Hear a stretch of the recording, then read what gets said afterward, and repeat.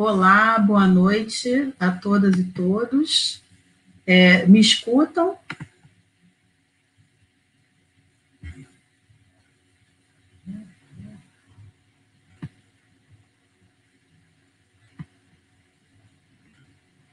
Boa noite a todas e todos. A gente vai dar início hoje ao curso de extensão Introdução ao Pensamento Social de Clóvis Moura. Meu nome é Ana Paula Procópio, eu sou professora da Faculdade de Serviço Social da Universidade do Estado do Rio de Janeiro. Aí, bom que o pessoal está respondendo aqui que sim, estamos aparecendo, né? É, esse curso de extensão, ele vem sendo preparado já há algum tempo, né? Mas quis aí o universo que a gente fosse começá-lo, né? Durante esse período em que as atividades presenciais, né? Estão suspensas em função da pandemia, né? A, a, a organização desse curso é fruto de pesquisas, né? Que temos realizado no âmbito do Proafro, ERG, né? Que é o Programa de Relações Raciais da Universidade do Estado do Rio de Janeiro, e que envolvem né, a análise e a, o debate das obras do pensador Clóvis Moura. Né? Na abertura aqui do nosso curso, nós vamos ter o professor Fábio Nogueira, que eu vou apresentar aqui para todos e todas, e hoje a gente também está contando com a presença aqui, o auxílio luxuoso da nossa estudante de serviço social, Bianca Chaves, que também é extensionista do Proafro UERJ, ela vai ficar aqui com a gente também, nos auxiliando em relação aos comentários e as perguntas que vocês fizerem pelo uh, bate-papo. Né? Então, Bianca vai estar aqui né, eh, fazendo aí o acompanhamento das perguntas, das questões que vocês fizerem ao longo uh, dessa, dessa atividade de hoje. Né? Eu vou falar só um pouquinho de como é que esse curso vai funcionar, né? depois eu vou passar aqui para o Fábio, né? Nós temos aí né, algumas, é, é, alguns encontros, né? É, vocês provavelmente verão aí em alguns instantes, a gente tem aí sempre um tempinho né, entre o que a gente fala e o que a gente passa aqui na, na, na sala de controle e o que vocês estão vendo, né? Mas a gente vai, ao longo de seis encontros, né, trazer alguns elementos da obra da, de Clóvis Moura, né? Então, nós teremos aí no dia de hoje, né, nesse primeiro, nesse primeiro momento, né, nesse primeiro dia, a apresentação do professor Fábio, mas ao longo das, de, de seis sextas-feiras, né, de hoje até o dia 4 de setembro, às sete e meia, nós teremos aí outros professores convidados, professor Márcio Farias, né, e professor Kleber Vieira, que também estarão conosco. Né? As transmissões serão sempre pelo canal do Proafro no YouTube, né? e como nós tivemos né, um número elevado de inscrições, as inscrições se encerraram né, é, é, é, na manhã de hoje, a gente deixou até a manhã de hoje, foram mais de 400 pessoas inscritas, nós então entendemos que tanto as pessoas que estão inscritas, como aquelas que estão aí como ouvintes, que não é, é, preencheram o formulário, né, se desejarem receber os certificados do curso de extensão, é, deverão ter 75% de presença e, após o final do curso, enviar até o dia 11 de setembro um texto de 2.000 a 2.500 caracteres, com espaços, fazendo uma análise dos principais temas que é, serão discutidos ao longo dessas semanas, à luz dos referenciais teóricos que serão abordados, né? E aí a pessoa vai mandar esse, é, é, essa avaliação, né? Essa, essa avaliação final, visto um curso de extensão, para o e-mail do Proafro, que é o ergproafro.gmail.com, né? Esse curso, ele é um curso da Universidade do Estado do Rio de Janeiro, né, vinculado à Faculdade de Serviço Social e uh, está sendo uh, organizado pelo PROAFRO, né, Programa de Estudos e Debates dos Povos Africanos e Afro-Americanos da UERJ. Né. A organização está sendo feita aqui por essa que falo para vocês hoje, né, Ana Paula Procópio, e teremos como uh, docentes convidados professor Fábio Nogueira, da UNEB, professor Kleber Vieira, da Unifesp, e professor Márcio Farias, do CELAC USP. Né? Então, a ideia é que ao longo dessas semanas a gente apresente, né, esse curso tem um caráter introdutório, né, a gente apresente os principais aspectos teórico-metodológicos desse pensador, né, é, historiador e sociólogo Clóvis Moura, em suas reflexões sobre a formação social histórica brasileira. Então, teremos aí conteúdos relacionados à trajetória política e de vida né, desse, desse intelectual, contextualização também da sua inserção política né, e da inserção política da sua produção para pensar o Brasil, né, ah, alguns elementos das suas teses, do que ele dizia, do que ele, de como ele entendia né, o debate sobre escravismo no Brasil e as resistências negras, e a categoria praxis negra na transformação das relações sociais. Então, ele é um curso introdutório, ele tem mesmo esse objetivo também de fomentar entre todos e todas que estiverem conosco nessas semanas o interesse em, em se aprofundar na leitura das obras do Clóvis Moura. No dia de hoje, então, a gente tem é, é, é, como o professor convidado para a abertura desse curso, professor doutor Fábio Nogueira de Oliveira, da UNEB, Universidade do Estado da Bahia, que vai nos trazer elementos importantíssimos sobre a contextualização histórico, social e política, né, que uh, perpassam, que estão aí na vida e obra do Clóvis Moura, né? professor Fábio Nogueira, né? É professor adjunto da Universidade do Estado da Bahia, doutor em sociologia pela USP, cientista social também pela USP e mestre em sociologia e direito pela UF, Universidade Federal Fluminense, e do Estado do Rio de Janeiro. E a, a, a dissertação né, de mestrado defendida por ele é justamente Clóvis Moura e a sociologia da praxis negra. Né? E a importância do professor Fábio de, e também da, da, da nossa felicidade em tê-lo conosco, né? é o fato de que ele produz, ele, ele é o autor né, do livro Clóvis Moura, Trajetória Intelectual, Praxis e Resistência Negra. Né? E também eu tenho muita felicidade de tê-lo hoje conosco, porque ele também foi é, um dos examinadores da minha banca de, de doutorado, né? em que também trabalhei o pensamento social de Clóvis Moura, então para mim é uma felicidade muito grande ter o professor é, Fábio conosco aqui hoje. Sem mais delongas, vou passar para o professor Fábio, né, nós temos aí né, o nosso teto é até 22 horas, mas a gente pode terminar antes ou, ou até ir um pouquinho mais, né, mas finalizando às 22 horas, porque hoje é sexta-feira, então a gente tem aí em casa muitas lives animadas, né, de samba, de música, então a sexta-feira está só começando, né, é, é, e eu vou passar então aqui a palavra ao professor Fábio.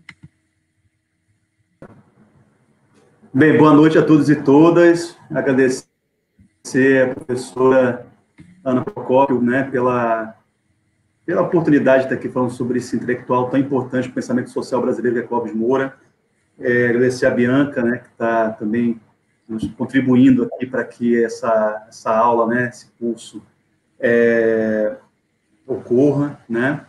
Dizer da satisfação de estar aqui, aqui nesse, nesse momento, dialogando com vocês, falando sobre Clóvis Moura, é, reencontrar a Ana, né, depois... A gente esteve em Salvador, né, Ana? Na, na, na UFBA, né, também para um curso sobre Clóvis, né, e foi um prazer muito grande para mim, uma, um aprendizado bacana estar na tua banca de, de doutorado, é, até porque o Clóvis é um autor que acho que desperta muito debate, né, um autor que pela extensão da sua obra, pela importância da sua obra, é um autor complexo, né, um autor que produziu é, continuamente durante décadas, produziu é, de livros, artigos, né? E, por incrível que pareça, eu comecei a minha pesquisa sobre Clóvis Clóvis Moura, eu queria falar um pouquinho sobre como eu chego a Clóvis Moura, né? Que, na verdade, meu campo de estudos é da área da sociologia, mais especificamente da sociologia da cultura, né? E eu, eu desperto, né, com com o, com o Clóvis Moura é, por um, um tema que para mim é muito importante e também tem a ver com a minha trajetória, né? Com a trajetória de outros, é, outros negros e negras que ingressam na universidade, que é entender os intelectuais negros. Né? Então, me despertou é, a atenção, me chamava a atenção que havia, apesar de você, na biblioteca da Faculdade de Filosofia da USP, né, ter vários exemplares, vários livros do Clóvis Moura, quando você perguntava pelos corredores, né, é, poucos né, haviam lido ou falavam né, a respeito do, do Clóvis Moura. Ter contato com o Clóvis Moura na graduação, numa, numa disciplina de métodos, né, de pesquisa, e o mais curioso, né, que é um livro chamado A Sociologia, é, a Sociologia Forte em Questão. Então, Clóvis Moura era apresentado como um autor, um ensaísta, né, que fazia, fazia críticas à, à, à sociologia acadêmica, né, críticas que eram sempre apontadas no tom de, de uma polêmica, né, uma polêmica, então, um autor polêmico, um autor que é, é um ensaísta, é, não é um cientista, né, mas lança questões interessantes para a gente fazer o debate. Era assim que Clóvis Moura era, era visto. E é curioso, né, com o autor como é, o Borovoy, né, norte-americano, sociólogo americano, anos depois, vai falar sobre uma sociologia pública, e os mesmos argumentos que ele, que ele apresenta são os argumentos que o Clóvis Moura apresentava na questão. Né? Então, você vê que a, a questão que estava por trás da obra do Clóvis Moura não era exatamente o seu caráter ensaísta, né, mesmo é, não científico, é, a, a Ana, na, na pesquisa, ela é, percebeu isso também, né, ao contrário, né, autor que faz pesquisa de campo, que levanta informações, é, tem um, um, referencial teórico forte e não deixa a desejar em nada as pesquisas que são produzidas naquele período.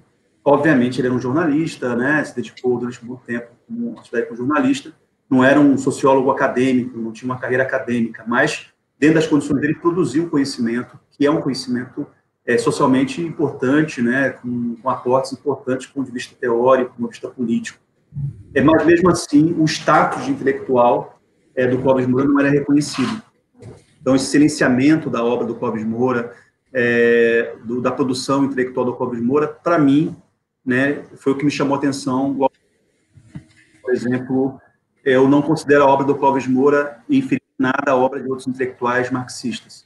Eu não acho que a obra do Clóvis Moura seja inferior à obra de um intelectual marxista muito respeitado, como, por exemplo, o José Carlos Mariátegui, que vai aplicar a tese marxista para a realidade peruana.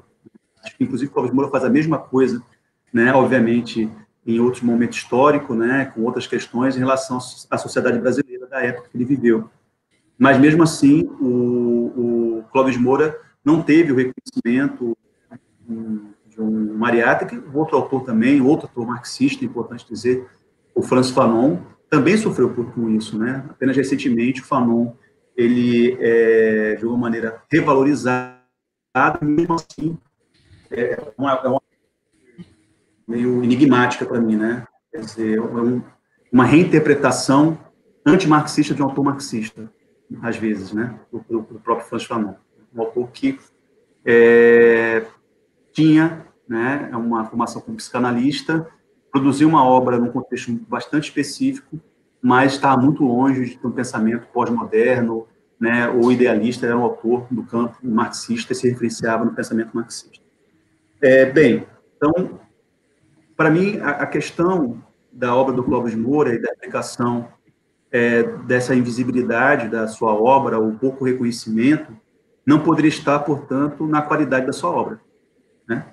A obra do Clóvis Moura é uma obra é, invejável do ponto de vista da riqueza né, de informações, de dados, fontes, da, da, da seu, é, da sua sofisticação teórica, né? Como ele estava antenado com as correntes das ciências sociais na época dele. Explicação em, outra, em outro lugar.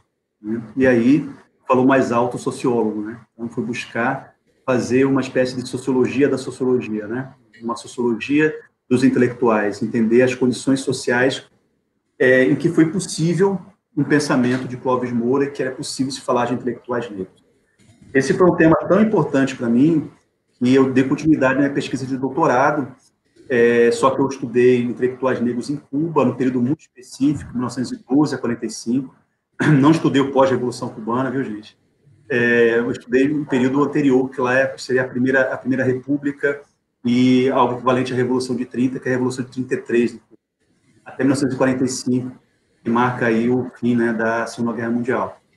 É, e eu usei como, como base a imprensa negra cubana, na verdade, alguns jornais, basicamente jornais imprensa é, negra de Havana, e buscando identificar né, o que a trajetória desses intelectuais, quem eram essas pessoas né, que produziam a imprensa negra.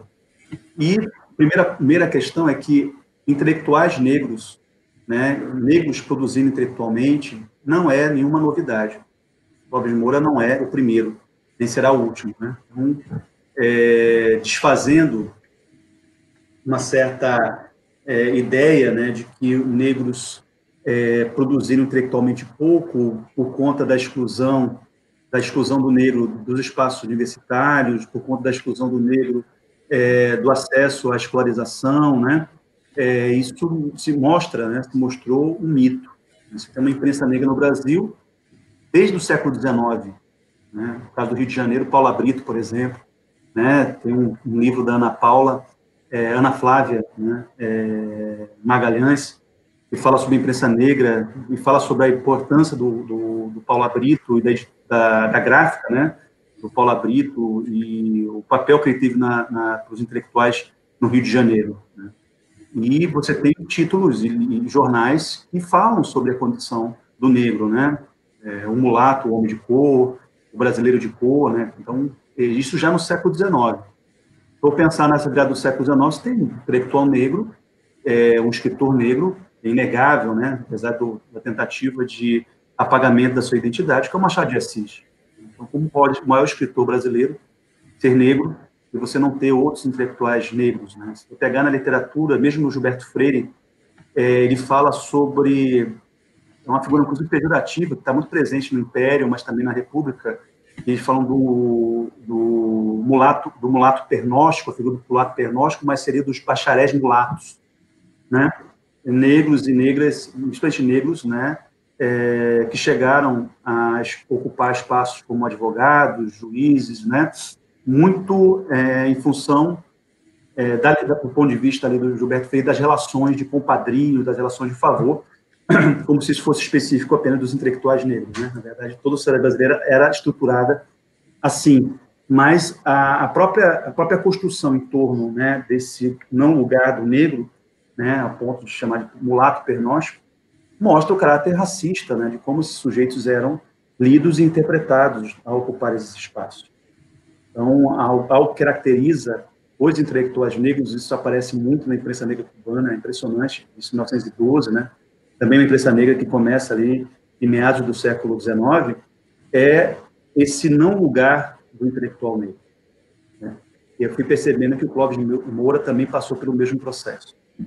Então, muita gente é, se surpreende, né? até cito isso minha, no, meu, no meu livro, na né? dissertação que foi o livro, professor Kabengele Munanga, né, chegando da África, ele vai participar da Semana do Negro da USP, e tem lá um, um intelectual, né, um, um, professor, um pesquisador, dizendo nós negros, nós negros, nós negros, de tez bem clara, de pele bem clara, é, daria pano para manga no debate do colorismo, né, é, dizendo nós negros, porque nós negros, e ele se surpreendeu que esse, esse intelectual era Clóvis Moura, né, e o Kabengele entendeu a importância daquele ato, aquele gesto político do Clóvis Moura, né, é, de se identificar e se assumir uma sociedade em que o embranquecimento é valorizado, estimulado, né, é, socialmente, se afirmar enquanto negro, né, caminhar contra a corrente. Então, esse processo né, é, do negro e da negra de invisibilidade é, tem a ver com a sua condição racial. Eu não vou aprofundar aqui, é, raça é uma construção social, raça define lugares sociais específicos, e raça é uma construção secular. Nosso, a nossa escravidão foi racial. A nossa escravidão ela foi funcional ao desenvolvimento da lógica capitalista. A nossa a escravidão, a escravização, formou a sociedade de classe no Brasil. Essa era a ideia que o Clóvis Moura defendia, a ideia que eu defendo também, é, entendendo que o lugar que negros e brancos ocupam na, na sociedade ele é um lugar construído historicamente. é um lugar de opressões, um lugar de poderes, né? um lugar de desigualdade. Isso não está apartado da realidade de classe, é a própria formação de classe. É como a classe se constrói em nosso país. Né? É, então, ele viveu esse processo, vamos falar um pouco sobre a trajetória intelectual, a trajetória do Clóvis Moura, como ele chega a produzir, é, na verdade, a publicar em 1959 Rebeliões da Senzala.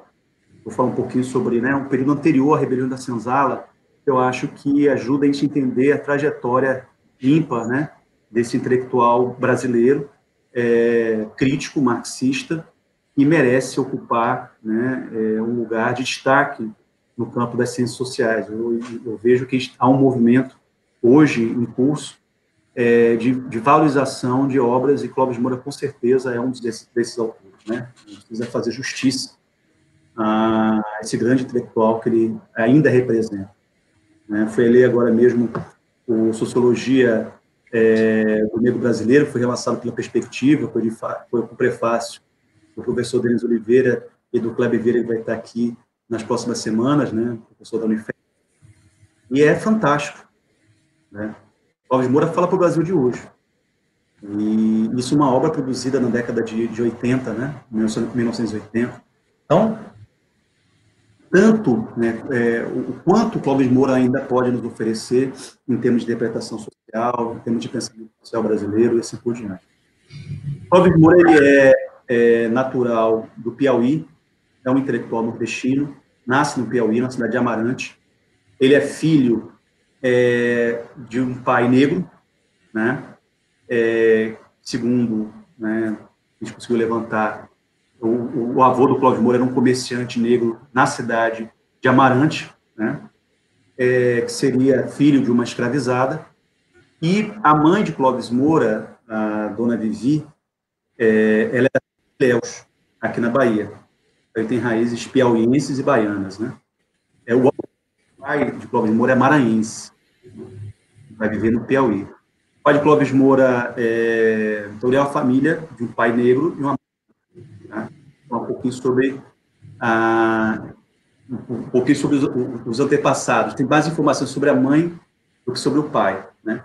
É, Clóvis Moura, ele é, em função da, da dona, dona, dona Vivia, sua mãe, né, que é da cidade de Léus, a dona Vivia, ela, ela é irmã, ela é, é parente, tem um vínculo de parentesco um político chamado Otávio Mangabeira, que foi fundador do Então, Clóvis Moura, ele era sobrinho de Otávio Mangabeira. Então, isso é uma informação importante também, né? Ele é sobrinho de um político importante do estado da Bahia, é, e tinha um tronco, né, branco. E ele é descendente do barão von Steiger, é Clóvis Steiger Moura. Esse barão von Steiger foi um senhor de escravos. Tá? Então, o autor, autor de Rebeliões da Senzala teve entre seus ancestrais, né, seu bisavô, é, um senhor de escravos. É, e uma bisavó, né, escravizada. Ele é, nasceu no Maranhão, desculpa, nasceu em Amarante, no Piauí, foi para Natal, e Natal é, acompanhou, muito jovem, né, a, a intentona comunista, de 35, né, Clóvis Moura de 1925. E a, na, cidade, na cidade, lá em, em Natal, ele começa a é, se envolver no que seria o, o Grêmio Estudantil dessa escola, o Centro Cívico, estudou no colégio particular, colégio marista, né? E o pai dele havia é, passado num concurso, né? Não fica muito claro exatamente como foi isso, de fiscal de rendas, equivalente a fiscal, é, trabalhar na Receita Federal. Então, há uma, um padrão né, de vida que melhora né, na, da família do, do, do, Clóvis. Ele tem um irmão mais velho, né, é, que é o Carlito, é, que é branco, né, que morre, então a, morre junto jovem, com 15 anos de idade. Isso, de uma maneira, marca né, a trajetória do Clóvis Moura e uma irmã, que é Merita, que é a irmã mais nova. É, o pai é, se muda para a cidade de Juazeiro, para Salvador, depois para Juazeiro, isso como fiscal de renda, Juazeiro entreposto entre Juazeiro e Petrolina, né? Famosa, famoso forró, né? Juazeiro e Petrolina, ali é um interposto comercial, e ele vive em Salvador durante um período já no, no, na adolescência, início da fase adulta, E em Salvador ele conhece uma galera bem interessante, né? O Jorge Amado, né? O Ginolino Amado, é, o Paim, que é um psiquiatra, é, esqueci o primeiro nome dele. Bem, alguns intelectuais da cena, o Edson Carneiro, né? Então vão se tornar ali a patotinha do Clóvis Moura. E ele se muda para a cidade de Juazeiro, na Bahia, já é, próximos às ideias ali do Partido Comunista, muito em, fun em função da influência do Jorge Amado, né? O qual ele se tornou é, um vínculo de amizade muito forte com o Jorge Amado. Bem, existia todo um movimento cultural de renovação no Brasil, na Bahia, na Bahia, o Jorge Amado, o Edson Carneiro lideraram a Academia dos Rebeldes, que foi o que seria o equivalente baiano da, da Semana de Arte Moderna, né? uma renovação da literatura, das letras. E o interesse inicial do Clóvis Moura é pela literatura, e pela literatura, literatura regional. E é a partir dessa literatura regional, principalmente os livros do Jorge Amado, que ele vai se interessar pela temática negra. E vai buscar entender o papel do negro na formação da nossa sociedade. É, a Bahia é, foi um cenário perfeito para o Clóvis Moura, né? A gente tem no período da primeira metade do século XIX, uma série de rebeliões na Bahia, né? rebeliões negras lideradas principalmente por escravizados. A última, isso começa com o ciclo de rebeliões dos alçais em 1806. Não sou historiador, gente, então os números não estão, é, talvez pode, pode estar errado, 1804. Né, o primeiro alçamento, alçar, uma tentativa de rebelião, alçar, e o último grande levantamento esse sim, né, já bem documentado, é, livro clássico do João Reis, João Zé Reis, que foi a Revolta dos Malês de 1835. Né. Então, havia já uma, uma memória das revoltas negras na Bahia é, do início do século XIX. A Bahia, é, em especial, né, foi tomada por uma série de mobilizações, não só dos escravizados, mas também disputas políticas, né, a independência da Bahia, o 2 de julho, né, os baianos reivindicam essa fraude do 7 de setembro, a independência pelo 2 de julho de 1823, né, é uma, uma independência popular, né, é, que aconteceu na Bahia, e, a, e outros movimentos, como a Sabinada, né, movimentos de revolta e, e assim por diante. Bem, o Clóvis Moura, obviamente, estava influenciado, leu, teve contato, né, muito amigo de Jorge Amado, é, do, Edson, do, do, Edson Carneiro, do Vivaldo da Costa Lima, grande amigo, antropólogo, né, pesquisador. É, o Vivaldo produziu muita coisa no campo da antropologia. Bem, foram amigos a vida toda, né? Durante minha, inclusive na minha dissertação de mestrado, o Vivaldo consegui ele entrevistar ainda vivo, né? É, ele estava no, no, no, um pouco adoentado, mas de pronto, não, Clóvis Moura, é uma, uma, uma figura que muito meu amigo, né? Bem, e eles, é, a partir de Amarante, a partir de Juazeiro, Clóvis Moura começou a escrever na década de 40 o Rebeliões da Senzala, certo? E já era militante do Partido Comunista Brasileiro. E aí eu tive acesso pelo CEDEM, que é o Centro de Documentação e Memória da Unesp, às cartas do Clóvis Moura, é, recortes de jornal, artigos, tudo que ele lia naquele período. Clóvis Moreira documentava tudo, né? Tanto que tem um acervo muito, muito grande de coisas do Clóvis Moura no CEDEM, é, em São Paulo, na Unesp, né? Na verdade, fiquei na Praça da Sé. Não sei se está no mesmo endereço ainda, mas na época que fiz a pesquisa, estava ali na Praça da Sé. E tive acesso às cartas que esse jovem Clóvis Moura né, produziu nos anos 40 ali na cidade de Juazeiro. É, e além de intelectuais ligados ao Partido Comunista, o Edson Carneiro, escreveu é um livro chamado é, O Quilômetro dos Palmares, o Caio Prado Júnior, né? Ele, ele, se comunicava com, é, se comunicou com Arthur Ramos, Donald Pearson, Emílio Willens, né? intelectuais acadêmicos, sociólogos acadêmicos, né? E aquele jovem é, que estava no Juazeiro escrevendo sobre rebeliões negras, rebeliões de escravizados, é, ele recebeu feedbacks bem, bem negativos, né? Então, o interesse dos intelectuais acadêmicos, Donald Pearson, Emílio Willens, era muito mais sobre fontes, né? Então, o Clóvis Moura, Arthur Ramos, né, principalmente, entendia Clóvis Moura como um, é, uma, um possível é, coletador de fontes e dados, né? É, não como um pesquisador, né? E o Caio Prado Júnior, é, que é um intelectual marxista, já, né, reconhecido, já tinha produzido é, obras importantíssimas naquele período.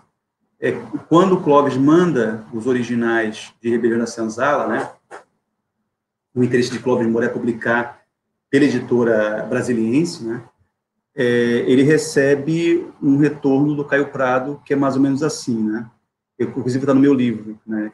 que a gente transcrever a carta do Caio Prado.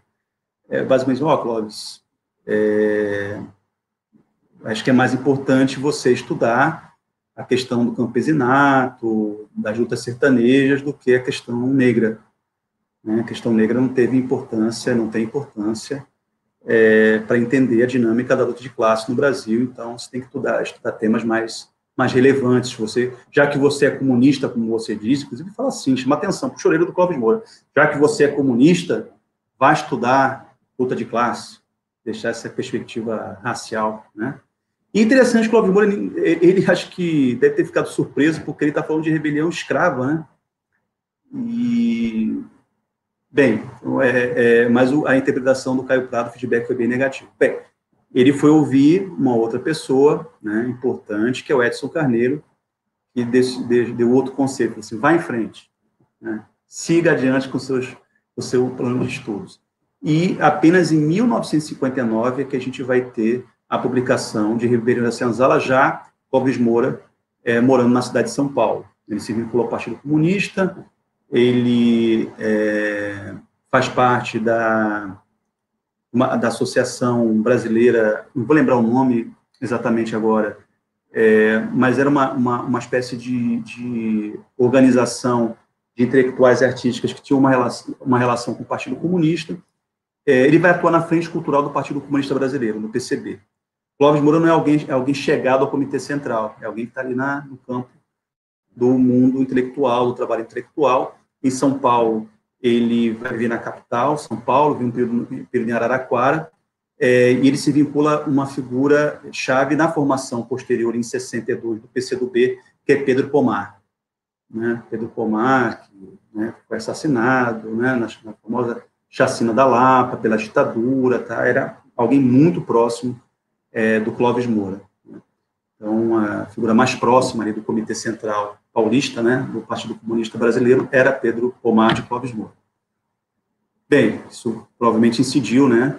Clóvis Moura ingressa na dissidência que vai dar origem ao PCdoB em 62, apesar de é, ele manter uma relação com o PCdoB bastante controversa, né? É, conturbada em algum nível, apesar de estar lá sempre presente, no final da vida, Clóvis Moura se, chamava, se dizia um comunista sem partido, né? Então, ele, apesar de estar presente e ter um papel importante no PCdoB, né, ele não se vincula diretamente ao Partido é, Comunista do Brasil.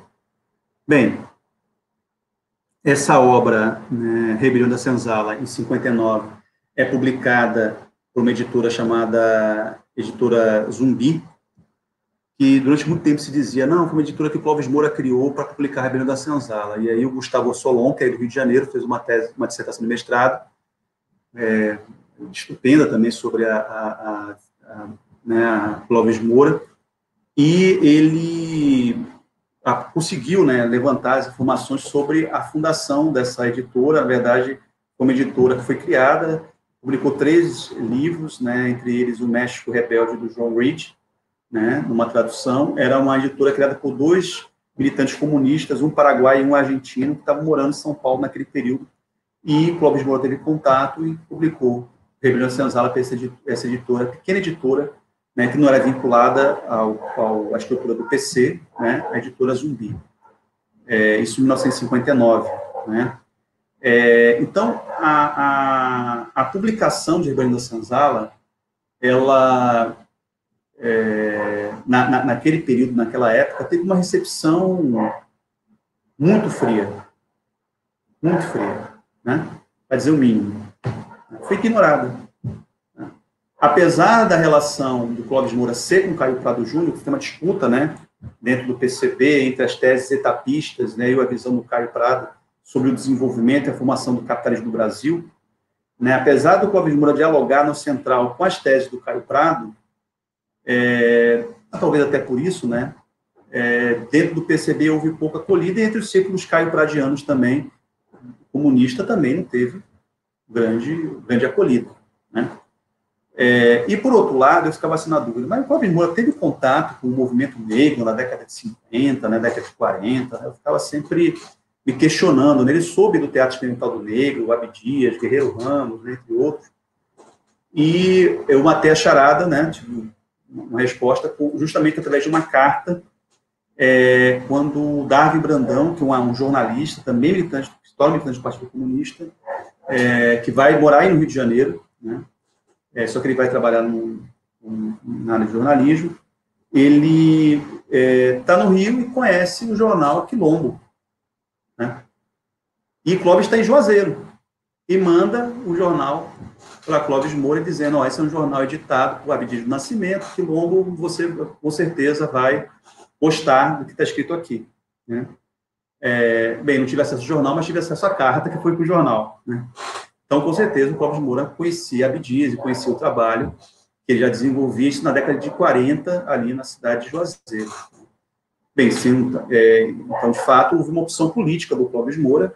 O Abdias é vinculado ao trabalhismo, ao, ao PTB, né, a, a herança varquista, e o Clóvis Moura, como um comunista, ele não... Né, havia um estranhamento né, com o Abdias do Nascimento, que também é um intelectual é, muito importante, bastante, bastante conhecido, até mais que o próprio próprio Clóvis Moura, né? Mas um processo mais recente, né? Você teve com a mudança do ambiente universitário, né? É, não é uma não foi uma, uma, uma concessão ao Abdias, né? Na verdade, é um processo político é, que eu acho que é o que também vem acontecendo com a obra uh, do Clóvis Moura. Bem, de qualquer maneira, ele vive, então, um processo que eu chamo de dupla marginalização, né? Ele não é reconhecido pelos meios acadêmicos da Universidade de São Paulo, mesmo os círculos marxistas, não é reconhecido, vamos dizer, tripla né, marginalização, não é reconhecido pelos círculos do Partido Comunista, mas também não é reconhecido pelo movimento negro, tá? da época dele. Se você lê a... Tem uma, uma biografia do José Correia Leite chamado E Disse o Velho Militante José Correia Leite, uma longa entrevista para o CUT, que foi editada em 88 na gestão da Luiz Erundina, né?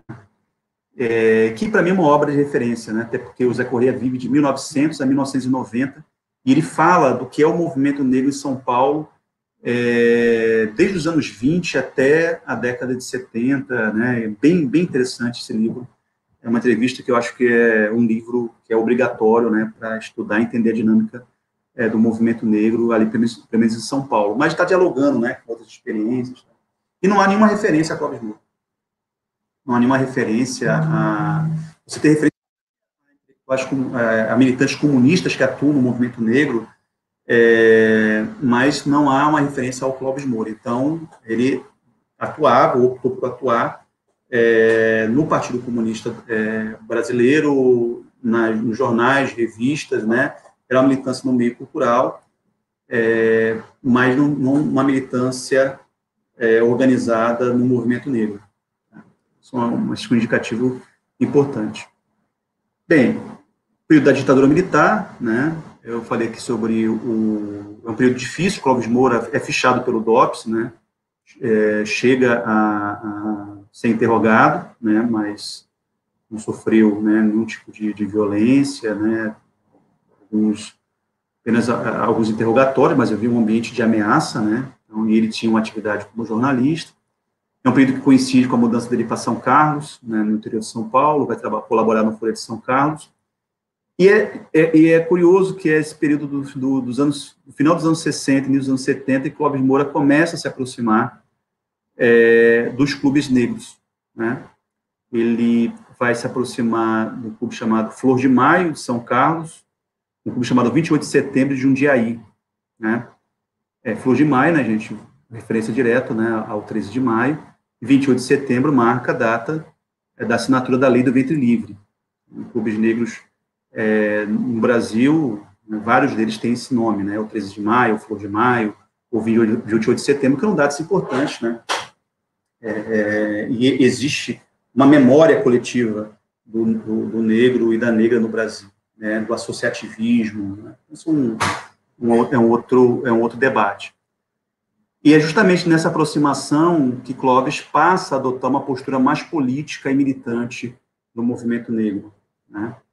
E a sua obra, até pelo caráter de enfatizar né, a rebelião negra né, e as revoltas negras, é, fez com que, no contexto do pós-ditadura, pós 78, com a fundação né, é, do Movimento Negro Unificado, do MNU, esse ano se completa é, 42 anos né, de fundação do Movimento Negro Unificado, é, é que Clóvis Moura passa a ser, passa a ser valorizado.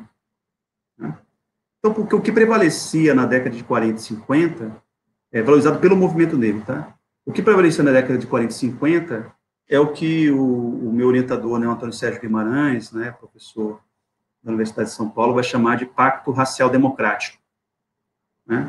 Uma das colunas, a coluna que o Abdias Nascimento assinava no jornal, no jornal Quilombo se chamava Democracia Racial. Então, a, a, ideia de, de disputar um lugar do negro dentro do pacto da democracia racial.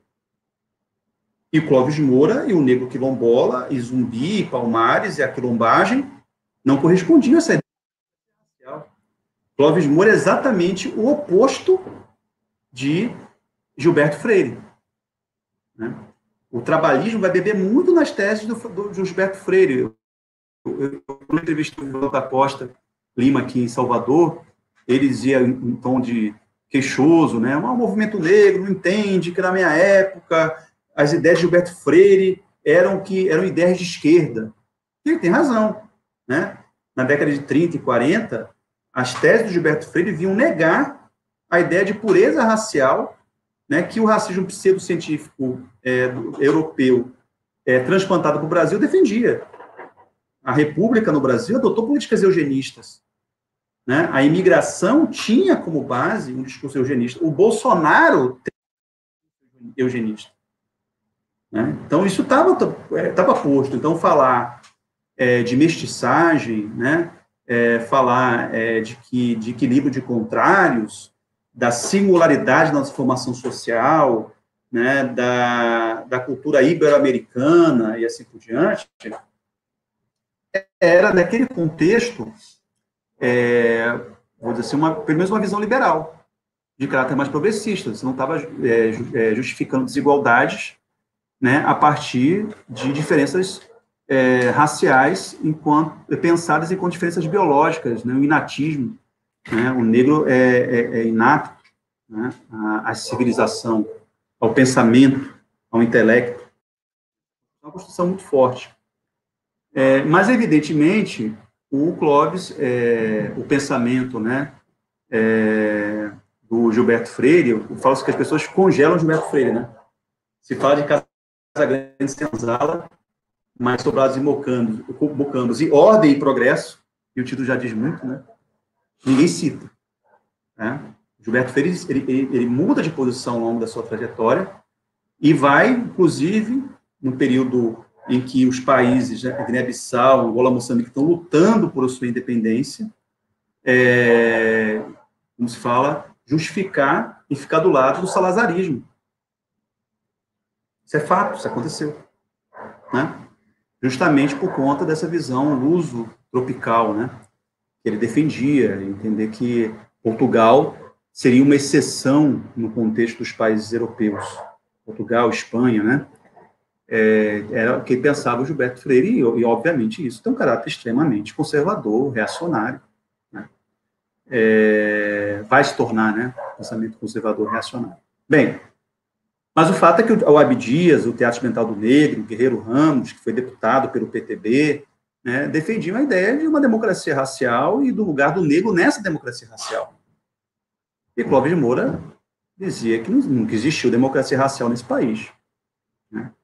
É, a integração do negro no Brasil, né, ela se deu de forma violenta e a, o processo em que o negro afirma a sua humanidade se deu a partir de ações de contra-violência. E essas ações de contra-violência que negam o escravismo têm no quilombo, né, e Palmares é um exemplo disso, a sua principal é, ferramenta. Né? Então, ele vai, ele vai analisar o papel da rebelião negra no processo de desestruturação do escravismo e na transição da sociedade de classe. Isso é uma, isso é uma coisa primorosa, eu acho, toda vez que eu falo isso, esse cara estava né, dialogando com o que hoje se produz nas universidades né, na Europa, nos Estados Unidos, mesmo no Brasil.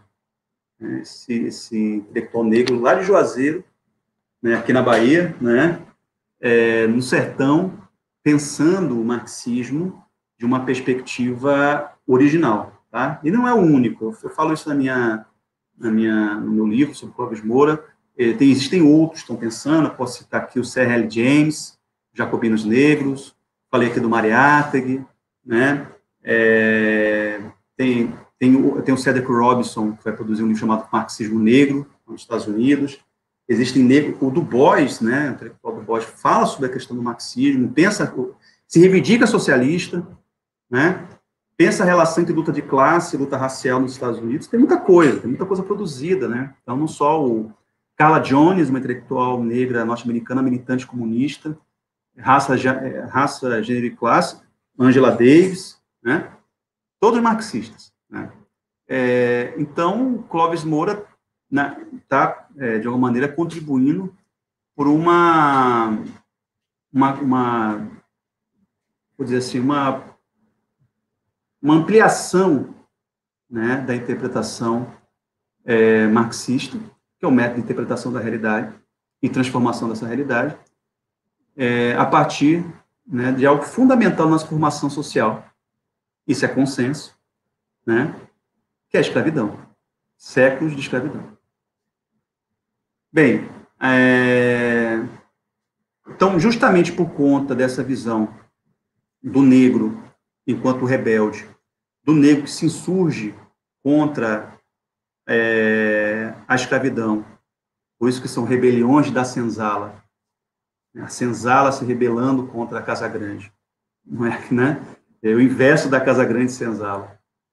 E, cria, e tendo no quilombo né, um instrumento né, é, de desorganização, propondo outras formas, outros arranjos, outras construções. Né.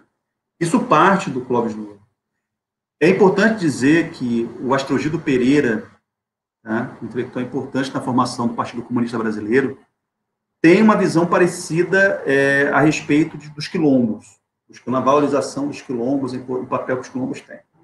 Tá? Então, esses ataques que a gente assiste contemporaneamente aí de setores da extrema-direita, a zumbi, aos quilombos, a palmares, em que eles falam que é, isso, tudo é marxismo cultural, é porque há por parte, não só de intelectuais marxistas, mas intelectuais progressistas, uma valorização das experiências dos negros para além da escravidão. E o quilombo é um exemplo maior disso. Então, não é apenas o Astrodigo Pereira, mas de forma muito superficial. É, tem um intelectual é, pernambucano que está vinculado ao PCB, chamado Aderbal, Aderbal Jurema, é, acho que é, é o nome dele, e é, um outro, outro político alagoano chamado Jaime Altavila, escreve um romance sobre Palmares. Isso aí antes, tá? De é, Rebelião da Senzala, obviamente, a gente não pode esquecer de Edson Carneiro, é, Quilombo dos Palmares. Tá? Mas Edson Carneiro bastante, apesar de estar vinculado a esse movimento, né, de entender o quilombo para além das, é, o, o negro para além da escravidão, Edson está muito preocupado com os elementos da cultura negra que são transplantados, são recriados a partir do quilombo. Edson Carneiro, outro intelectual, acho fantástico, formidável, né, que também merece um lugar, né, é, seu lugar de direito na Universidade Brasileira. É, inclusive o Gustavo Rossi, que é um, um pesquisador, né, escreveu uma tese de doutorado sobre é, o Edson Carneiro, publicou em livro, já estava concluiu já o pós-doutorado sobre a figura do Edson, né, alguém, assim, importantíssimo para entender a antropologia brasileira. Isso é, temos a antropologia voltada para a cultura negra, em especial o candomblé. E muita gente passa pelo curso de antropologia no Brasil, de ciências sociais, nem escuta, como eu, nem, nem tive contato com a obra de Edson Carneiro. Né? Mas, é, vida que segue, né? Bem, é, na, na década de 70, o movimento negro brasileiro se reorganiza como um movimento de oposição à ditadura militar. E a ditadura militar usou justamente as teses do Bolsonaro, do Bolsonaro também, né? as teses do Gilberto, do, do, do Gilberto Freire, né? É, da democracia racial, enquanto uma ideologia autoritária. Você podia falar de racismo, que isso era visto como um, um crime é, um atentado à soberania nacional. Né? Você não podia fazer ativismo negro no Brasil. O movimento negro era visto como potencialmente perigoso, destabilizador, uma influência norte-americana e assim por diante. Isso era a ideologia do Estado autoritário brasileiro, da ditadura militar. Então, o movimento negro brasileiro se organiza como oposição à ditadura dentro do campo da resistência democrática. Não é à toa que o DOPS investiga o movimento negro, né? é, os, bailes, os bailes funk, o movimento Black Soul é investigado, né? É, chama a atenção da, da ditadura, né? Dos seus agentes e assim por diante. E é justamente nesse contexto que é, o Clóvis Moura passa a ser valorizado e a obra dele passa a, a ser uma obra, é, posso dizer assim, síntese né, desse momento que a gente está vivendo, né? Palmares se torna um símbolo, já é um símbolo, mas ocupa uma centralidade. É Zumbi, o Dia da Consciência Negra, 20 de novembro, quer dizer, Clóvis Moura, né? É, foi ali o autor que, que, sintetizou, né? Muito do que o movimento negro foi é, na partir dos anos 70, colocando, já estava presente antes, viu, gente? É importante dizer isso. 1910, Círculo Palmares, em São Paulo, fundado, né? é um círculo de negros, é um clube negro chamado Círculo Palmares, referência a Palmares. Há uma memória, uma memória anterior a Palmares, mas Palmares não tinha uma centralidade, certo? Vai passar a ter uma centralidade na década de 70 com o movimento negro unificado e o Dia Nacional da Consciência Negra.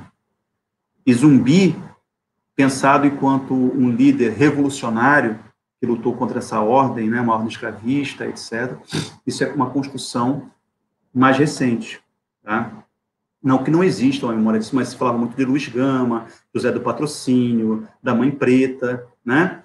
É, Zumbi estava presente, mas não era a figura central.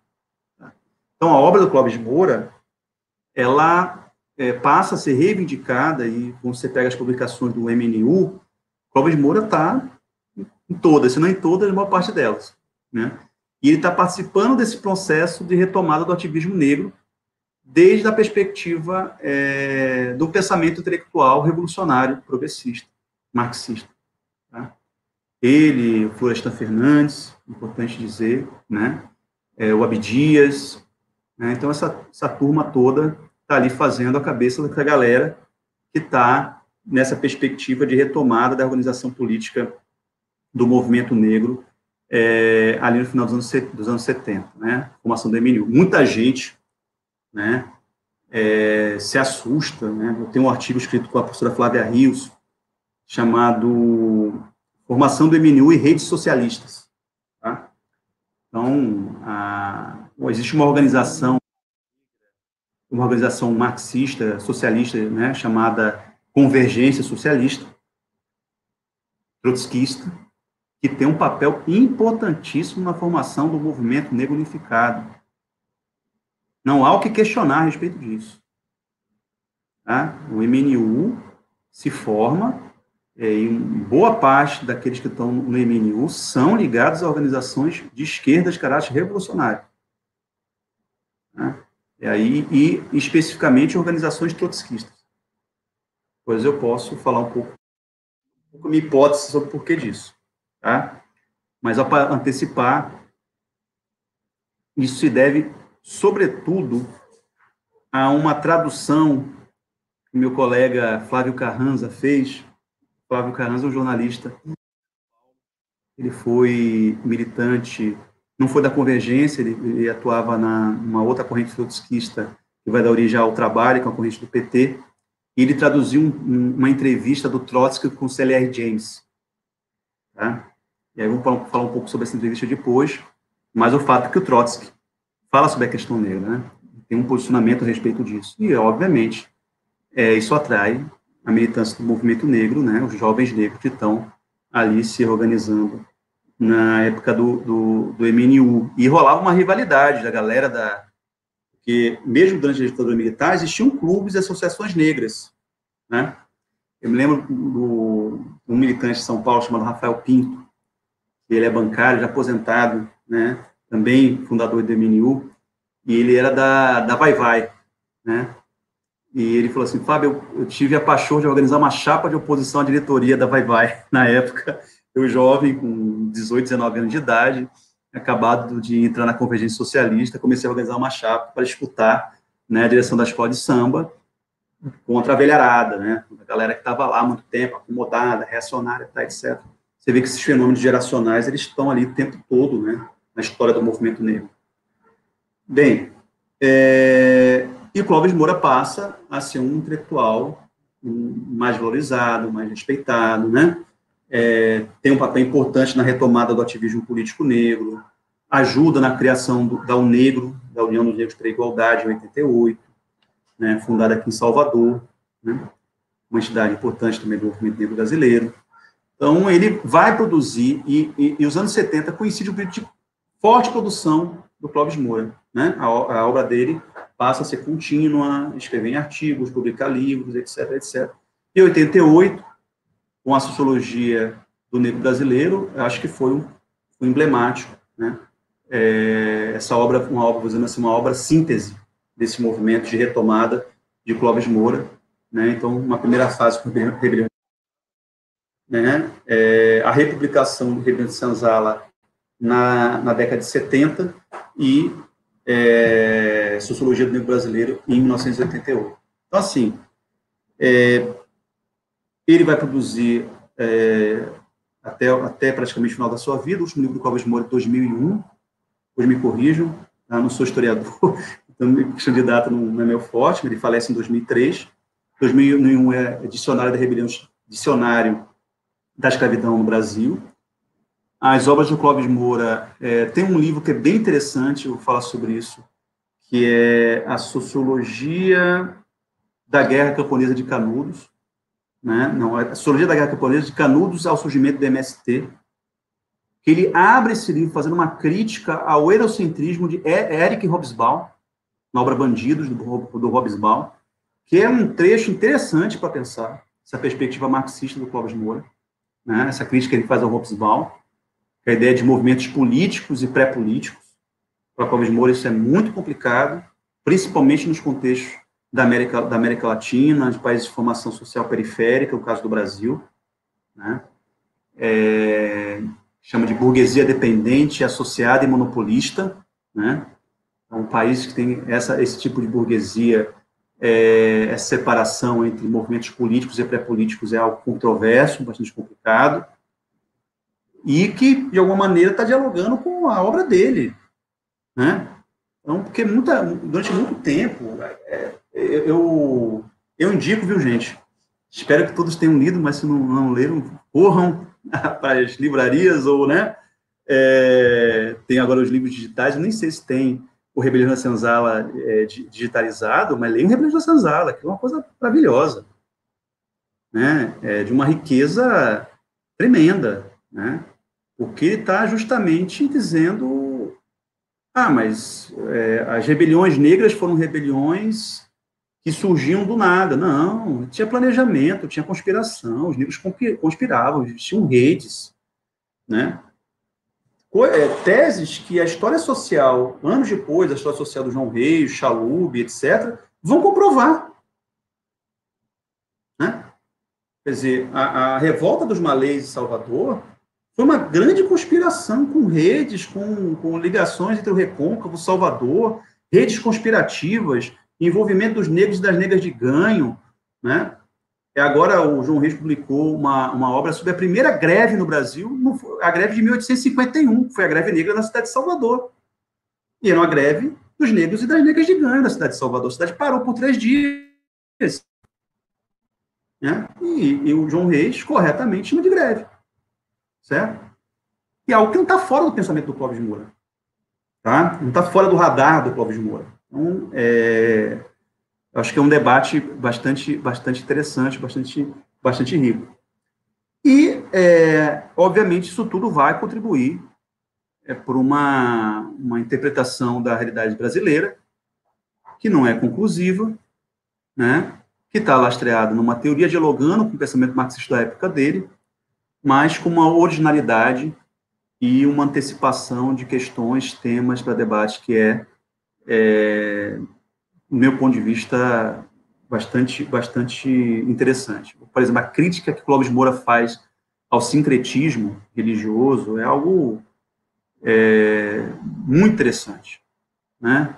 E contribuiu muito para o avanço é, de interpretação desse fenômeno no campo das ciências sociais. Tá? Então, esse fenômeno, um intelectual chamado Grossfogel, né, chama de extrativismo acadêmico. Porque um conhecimento, para ser socialmente válido, considerado científico, ele tem que sair, né, ser extraído, né, é, e embranquecido para se tornar um conhecimento universal. Ele não pode ser enegrecido, ele não pode ter raízes negras. Né? Então, o fato de Clóvis Moura ser negro e se assumir como negro fez com que a obra dele pagasse um caro tributo. Né? E aí vou voltar ao início da minha explanação. Né? É... Eu, não, eu, eu, tentando concluir esse primeiro, esse primeiro bloco aqui de intervenções, depois eu posso passar, responder aqui algumas perguntas, né? É, que é o que eu chamei de invisibilidade da obra do Clóvis Moura apesar de ele estar as teses de, de Clóvis Moura estarem presentes no pensamento do Ottaviani, né? Inclusive orientou a Érica Mesquita, que produziu a primeira dissertação sobre Clóvis Moura, é da Érica Mesquita. É, orientador dessa dissertação foi Ottaviani. É, de estar presente no pensamento do Florestan Fernandes, né, em algum grau do próprio Caio Prado, dialogando com o pensamento do Caio Prado, né, é, na história social contemporânea produzida no Brasil, a partir do João Reis, é, porque ele não ocupa esse lugar, né? enquanto um autor que coloca questões, temas que são bastante atuais e que dialogam com a nossa realidade social. Tá? Então, é, eu não consigo dissociar isso da condição, da politização que Clóvis Moura faz da sua condição de intelectual negro, de pensador negro. Né? e sua vinculação com a praxis, né, que é algo que também posso falar um pouquinho, né, é, respondendo as perguntas que foram, que foram formuladas é, por vocês.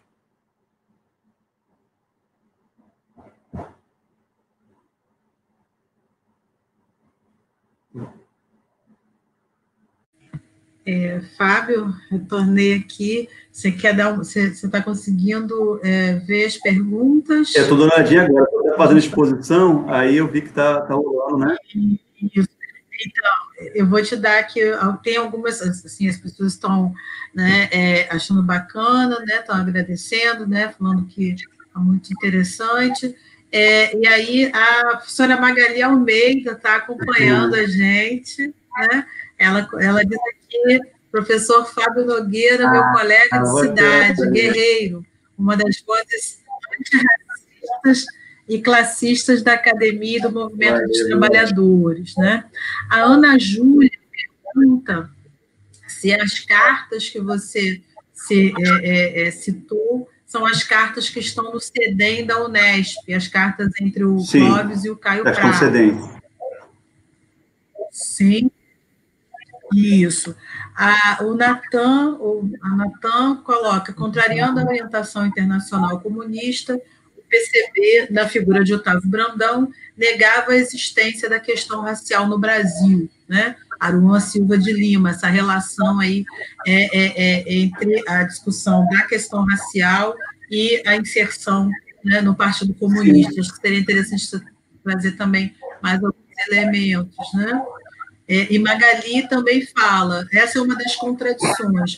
O racismo constrói formulações de interiorização e a construção de uma ontologia do não ser. Né? E Mag também fala que ah, da, da história pessoal é, é, dela, de ter conhecido tanto Clóvis Moura, né? e também é, o professor Milton Santos, que são aí que ela coloca que são os dois grandes né, intelectuais que a, a, a, é, a inspiraram, né? Não, Aí você quiser é, falar um pouquinho dessa, sobre tem mais algum? Primeiro sobre a... É, tem um trabalho da Dedilson Sotero, que é, que é professor também da UFPA, da faculdade de, da FACED, é, sobre a, o PCB. Né? Na verdade, ela estuda sobre, sobre políticas negras no geral, e ela faz um trabalho sobre políticos negros do PCB. Né? Então, o primeiro mito achar que o PCB não tinha formulação sobre a questão racial. Tinha. Tá? É, você pode questionar, dizer que é insuficiente, né?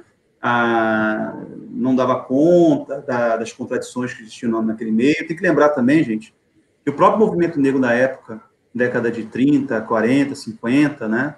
Está ali disputando o sentido da democracia racial esse questionamento do, da democracia racial enquanto mito, né, é, ele vai ganhar força mais contemporaneamente, tá? Não estou passando pano para perceber, não, mas estou justificando o contexto em que essas ideias são elaboradas. É, agora, o fato é que Moscou né, e a internacional é, é achava uma contradição muito grande, né? Com o país, com o Brasil. Isso se aplica a Cuba também, tá? A mesma coisa que acontece no Brasil se aplica a Cuba. É, como pode um país em que a escravidão durou durante séculos, a população é majoritariamente negra, não debater a temática racial? Né? Isso tinha a ver muito com a influência dos negros comunistas norte-americanos na internacional. Tá? Então, a, a internacional, é, a, a, terceira internacional, né, de Lenin, ela tem formulações sobre a questão negra mas muito informada pela visão dos negros norte-americanos. E como que a, era a interpretação? Isso aí só dá um Google que você vai achar, viu? A formulação, as teses sobre o negro. Inclusive, existe uma proposta do Terceiro Internacional de, de, um encontro internacional de negros, de, de negros, da questão racial. Tá? Mas a, a visão que, que, é hegemônica é que a questão negra é uma questão de minorias nacionais. Ao ponto, por exemplo, de em Cuba, se propor que todos os negros de Cuba fossem para o Oriente, onde né, são majoritários, e se declarassem independência, se criasse um Estado negro. Transplantaram o que aconteceu nos Estados Unidos para Cuba. Isso foi política do Partido Comunista Cubano, né, que no caso lá é o Partido Socialista Popular. E no Brasil, dada a, a impossibilidade né, de você aplicar isso, porque na prática seria pegar os brancos e colocar num, né, num único Estado, né, não contrário, é, ou ter um equilíbrio demográfico maior, né, é, porque outra coisa também, a população negra é, é, cubana representa 30% da população. Cuba ela é majoritariamente branca, tá? Bem, é porque a representação da cultura, nas artes, etc., leva a crer que Cuba tem uma maioria negra, mas na verdade a, a sociedade cubana é majoritariamente branca. Tá? Não é o caso do Brasil. Tá? É, nunca foi, não é hoje. Então, ambígua, né, em relação à temática negra. Então, de alguma maneira, valorizava, reconhecia os atos torno do 13 de maio, etc., mas estava muito ali informada por elementos locais, principalmente esse consenso racial democrático que citei antes, que o Antônio Sérgio faz referência. Então, era muito mais o, o sentido da disputa da democracia racial. Os negros percebistas achavam isso e concordavam com isso? Não. Né? Principalmente os trotskistas. E esse trabalho de Edilson vai rastrear né, a trajetória desses intelectuais negros. A imprensa negra é um manancial fantástico de informação. Né? Você não pode achar tudo ali, mas você acha informações muito importantes. Então, a, por exemplo, a Laudelina de Santos, Laudelina de Santos Melo, né? Posso estar errado no nome aqui, é, que vai fundar um, um sindicato, né? Propósito Sindicato Nacional de Empregadas Domésticas, é uma militante do Partido Comunista Brasileiro e atuou na Frente Negra Brasileira. Tá? Então, é, se existiam negros comunistas que atuavam em organizações negras, é porque existia uma intersecção entre né, as militâncias, entre as pautas, né, é, e ao mesmo tempo, houve algum nível de articulação política tá, dos negros, né, tentando é, fazer com que o PCB incorporasse, né, entendesse é, de forma mais é, sistemática, mas isso não foi o que prevaleceu. Tá? Prevaleceu por um. Aí, não vou entrar aqui é, na natureza né, do que seria a, a, a formação política desses, desses partidos, como eles, até porque eu sou especialista nisso. Né? Mas, de uma maneira geral, pegando que as né, no Brasil, há um, uma, um branqueamento absurdo da representação política e das estruturas partidárias. Né? Isso se, se dá é, muito pela forma como se organiza o poder político no Brasil. Certo? Então, você tem aqui uma, um país em que, mesmo a esquerda, flerta muito mais com as continuidades do que com as rupturas. Da polêmica, viu? Então, é, isso se reflete na organização partidária. Né? Então, por que, que a, a ordem escravista, a ordem é, da desigualdade racial, ela não é questionada? Né? Inclusive por da estrutura partidária. E quem fará isso, né? aí voltando a, a, ao que eu disse anteriormente, é o Trotsky. Tem uma entrevista que o CLR James faz com Trotsky é, no México, né, na época que o Trotsky estava no México, antes do Trotsky ser assassinado, em que o CLR James é, faz a seguinte indagação, né, olha, é, no Partido Comunista dos Estados Unidos, é, na direção do Partido Comunista dos Estados Unidos, traduzindo, viu, gente, não, não vou lembrar mais, mais bem isso, na direção do Partido Comunista dos Estados Unidos não tem negros, por que, que isso acontece? Né? Aí Trotsky vai responder: burocratização. Né? Se o partido não tem na sua direção refletida a composição racial da sua base, é um partido burocratizado. Burocratizado na visão do Trotsky é um partido que não tem capacidade e potencial revolucionário. Capacidade de fazer transformações mais profundas. Né? E é uma crítica interessante essa do Trotsky, né? Quer dizer, é, e, e, vai ter impacto né, na convergência socialista, na formação do MNU, né?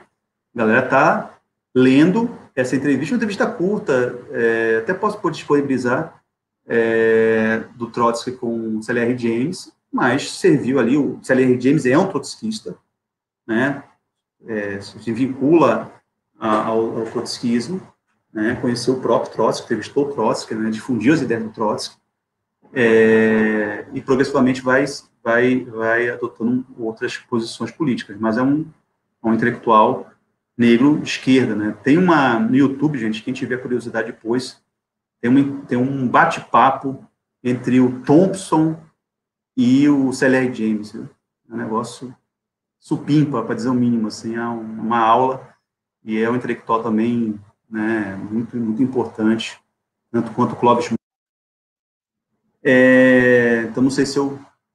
Então, essa relação do PCB com a questão racial é mais complexa, tá? Ela tem. Não sou especialista, mas recomendo esse trabalho da Edilza, é, que é bastante, bastante interessante. Um capítulo só voltado para essa relação entre PCB e é, os negros, né? E é importante, tem uma revista chamada Seiva, né, uma revista é, com recorte mais cultural, teórico, tá, etc., que é publicado aqui na Bahia. E é bem interessante o que está escrito nessa revista sobre a questão racial. É, difere bastante dessas teses da, da, disputa da democracia racial, se aproxima muito do pensamento do Clóvis Moura. Tá?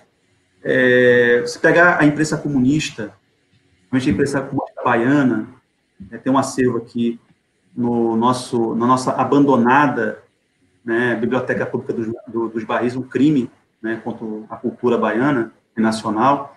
Tem aqui na, na Biblioteca Pública dos Barris a coleção do jornal o Momento, né, do Partido Comunista Brasileiro. Eu pesquisei por conta do Clóvis Moura, pedido que ele morou aqui, aqui na Bahia, em Salvador. E há matérias do Edson Carneiro, que é um comunista, sobre a, o, a, a festa de 2 de fevereiro, de Manjá. Né? Então, a imprensa comunista, ela é muito mais rica, muito mais diversa do que a gente imagina, tá? Então, essa ideia de que né, as, as coisas saem do comitê central e, né, então, tudo está definido não é bem assim. Então, tem uma trama aí de sujeitos e visões, né, e uma valorização de uma manifestação cultural é, que é a festa de Iemanjá, né? A festa de uma, de uma deusa, de um orixá, certo? Do panteão do, da mitologia, né? Urbana, né? Africana. Tem outra pergunta aqui? Tem. Tem. Você quer uma ajudinha, Fábio? Eu tenho é, várias aqui. Isso, então, vou, vou, vou, te dar aqui um panorama e também falar que quando você ia né, é, é, trazendo esses elementos, a gente está aqui também colocando, a gente trouxe a biografia da Laudelina, a gente botou lá no... Laudelina.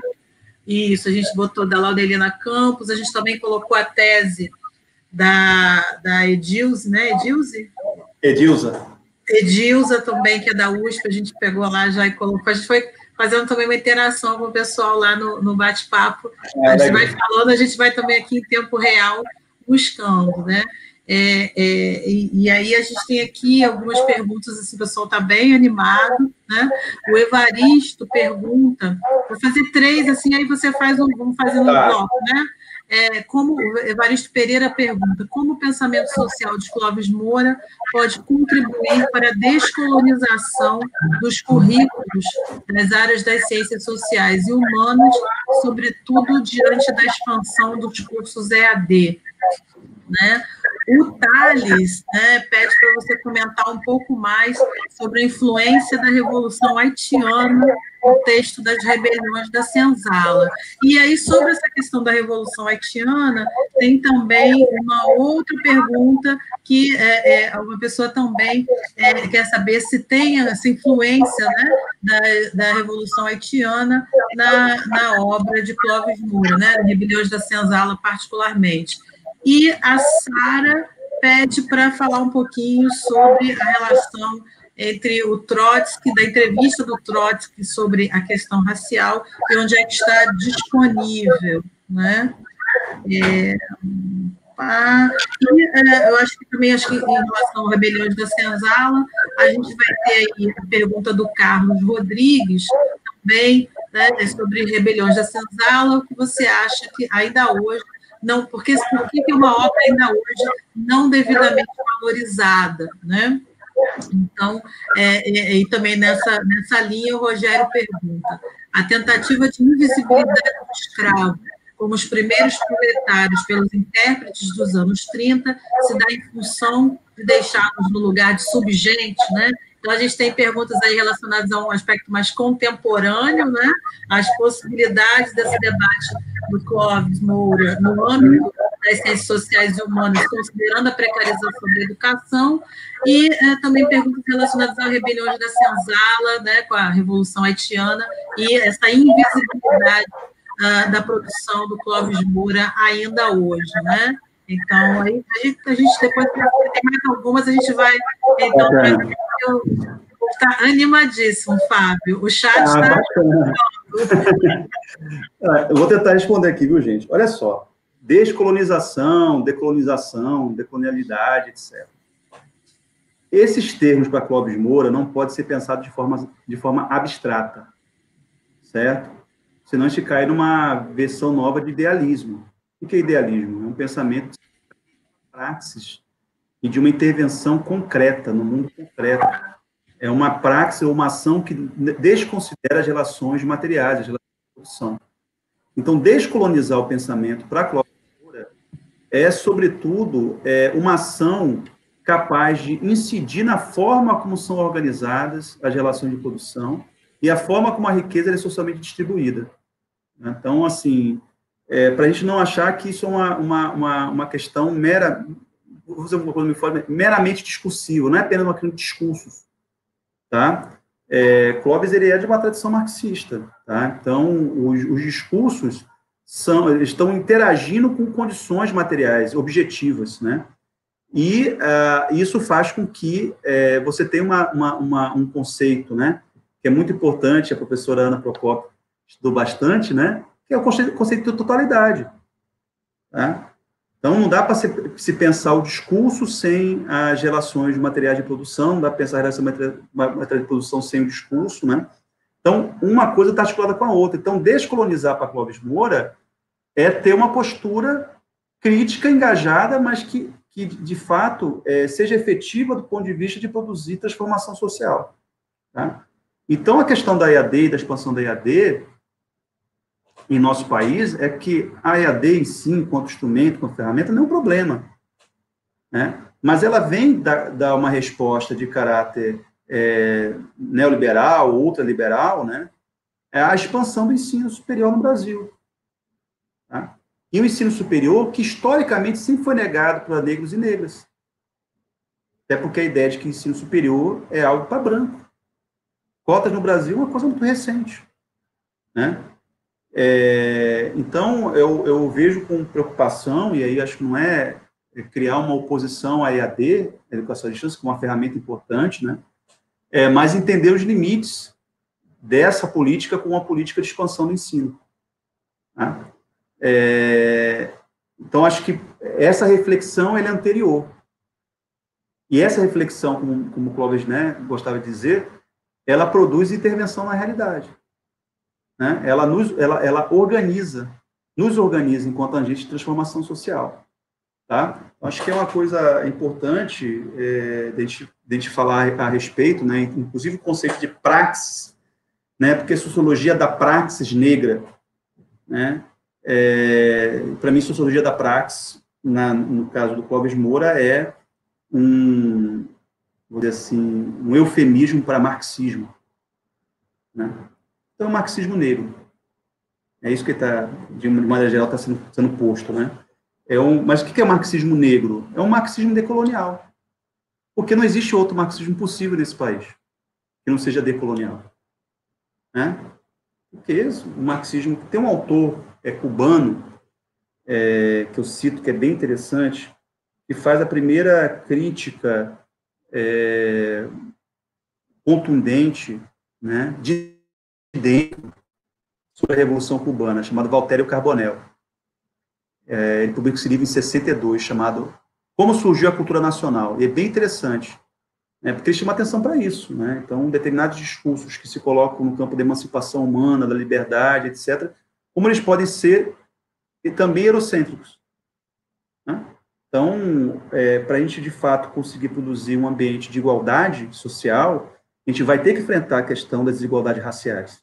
Essa é uma tarefa revolucionária, essa é uma tarefa decolonial. Né? Então, é a visão do Clóvis Moura. É... E a minha também. Né? Bem, sobre o Haiti, sim, o Haiti tem uma influência na obra do Clóvis Moura, Rebelião da Senzala. Eu não sei se na primeira edição, gente, que minha memória também é mais nas, nas edições a partir da década de 70 há uma referência ao Haiti, ao haitianismo, né? e não só para Clóvis Moura, mas de uma maneira geral para o pensamento é, social brasileiro, né? Para o bem ou para o mal, né? Então, a ideia de que é, o Brasil não se tornou um Haiti, né?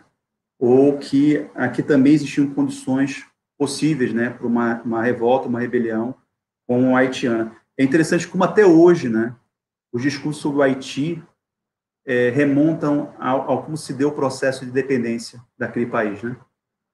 Primeira República, né, é, 1804, e não foi né, uma briga entre o, o, pai e o filho com a independência do Brasil, foi um processo de luta, né, de luta, luta é, contra a, o colonizador, né. Então, o Haiti, o Haiti, assustou, inclusive, os iluministas franceses, né. É, os pais da República foram assustados com o Haiti. Quem universaliza o? Né? Quem universaliza o francês é o haitiano, né? Quem universaliza os ideais de igualdade é, são os haitianos. Né? Então, o Haiti tem, de fato, um papel importante. É, é um processo paradigmático, né? De uma maneira geral, acho que as ideias de Marx dialogam muito com isso, né, gente? Quer dizer, a burguesia liberal é incapaz de levar a sério o que ela mesma proclama, né?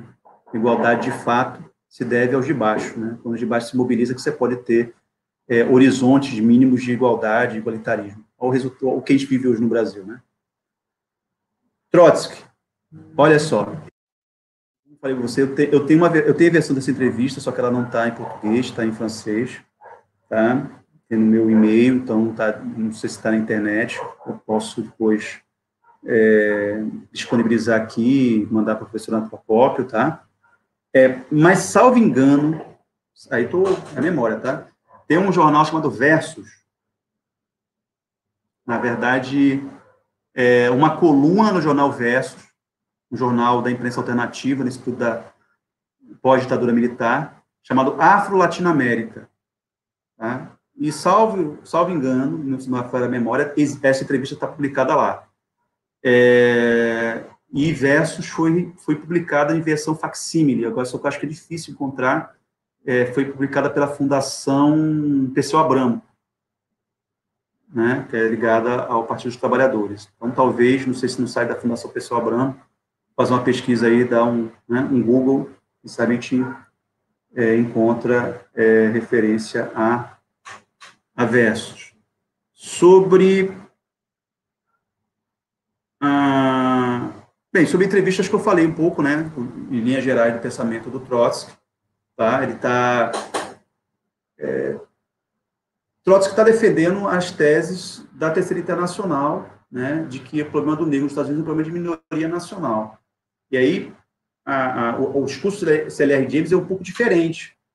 Né? O CLR James trabalha com a ideia de que é possível uma articulação entre negros e brancos né, dentro de uma mesma estrutura partidária é, nos Estados Unidos. Certo? Porque existem círculos socialistas norte-americanos que defendem que, que, não existe, que não existe possibilidade.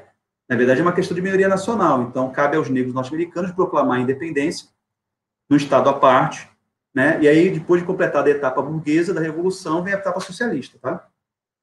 É, o CLR James não, ele está pensando uma revolução socialista nos Estados Unidos que integre no mesmo organização partidária negros e brancos.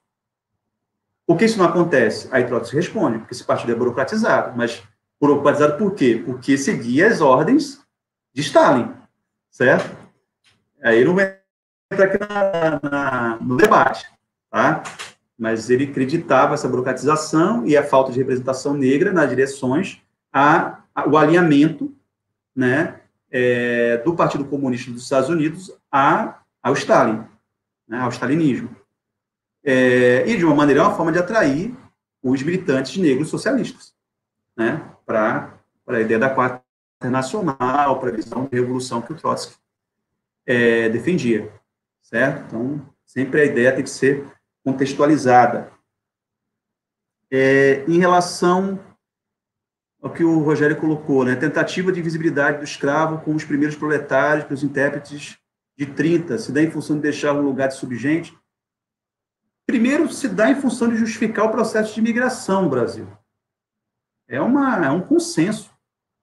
Né? O Brasil precisa ser viabilizado. Para ser viabilizado, precisa trazer mão de obra branca, europeia, né? de países é, é, vou dizer assim, com baixo desenvolvimento tecnológico, considerando as revoluções burguesas na Europa. A Itália não é um país desenvolvido, pegar a obra do Trotsky, existem várias contradições, Trotsky, do Gramsci, né? Várias contradições, né, a respeito do, do que é o desenvolvimento da, da Itália, né?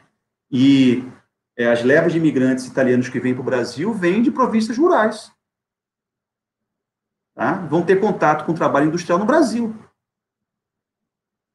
Tá?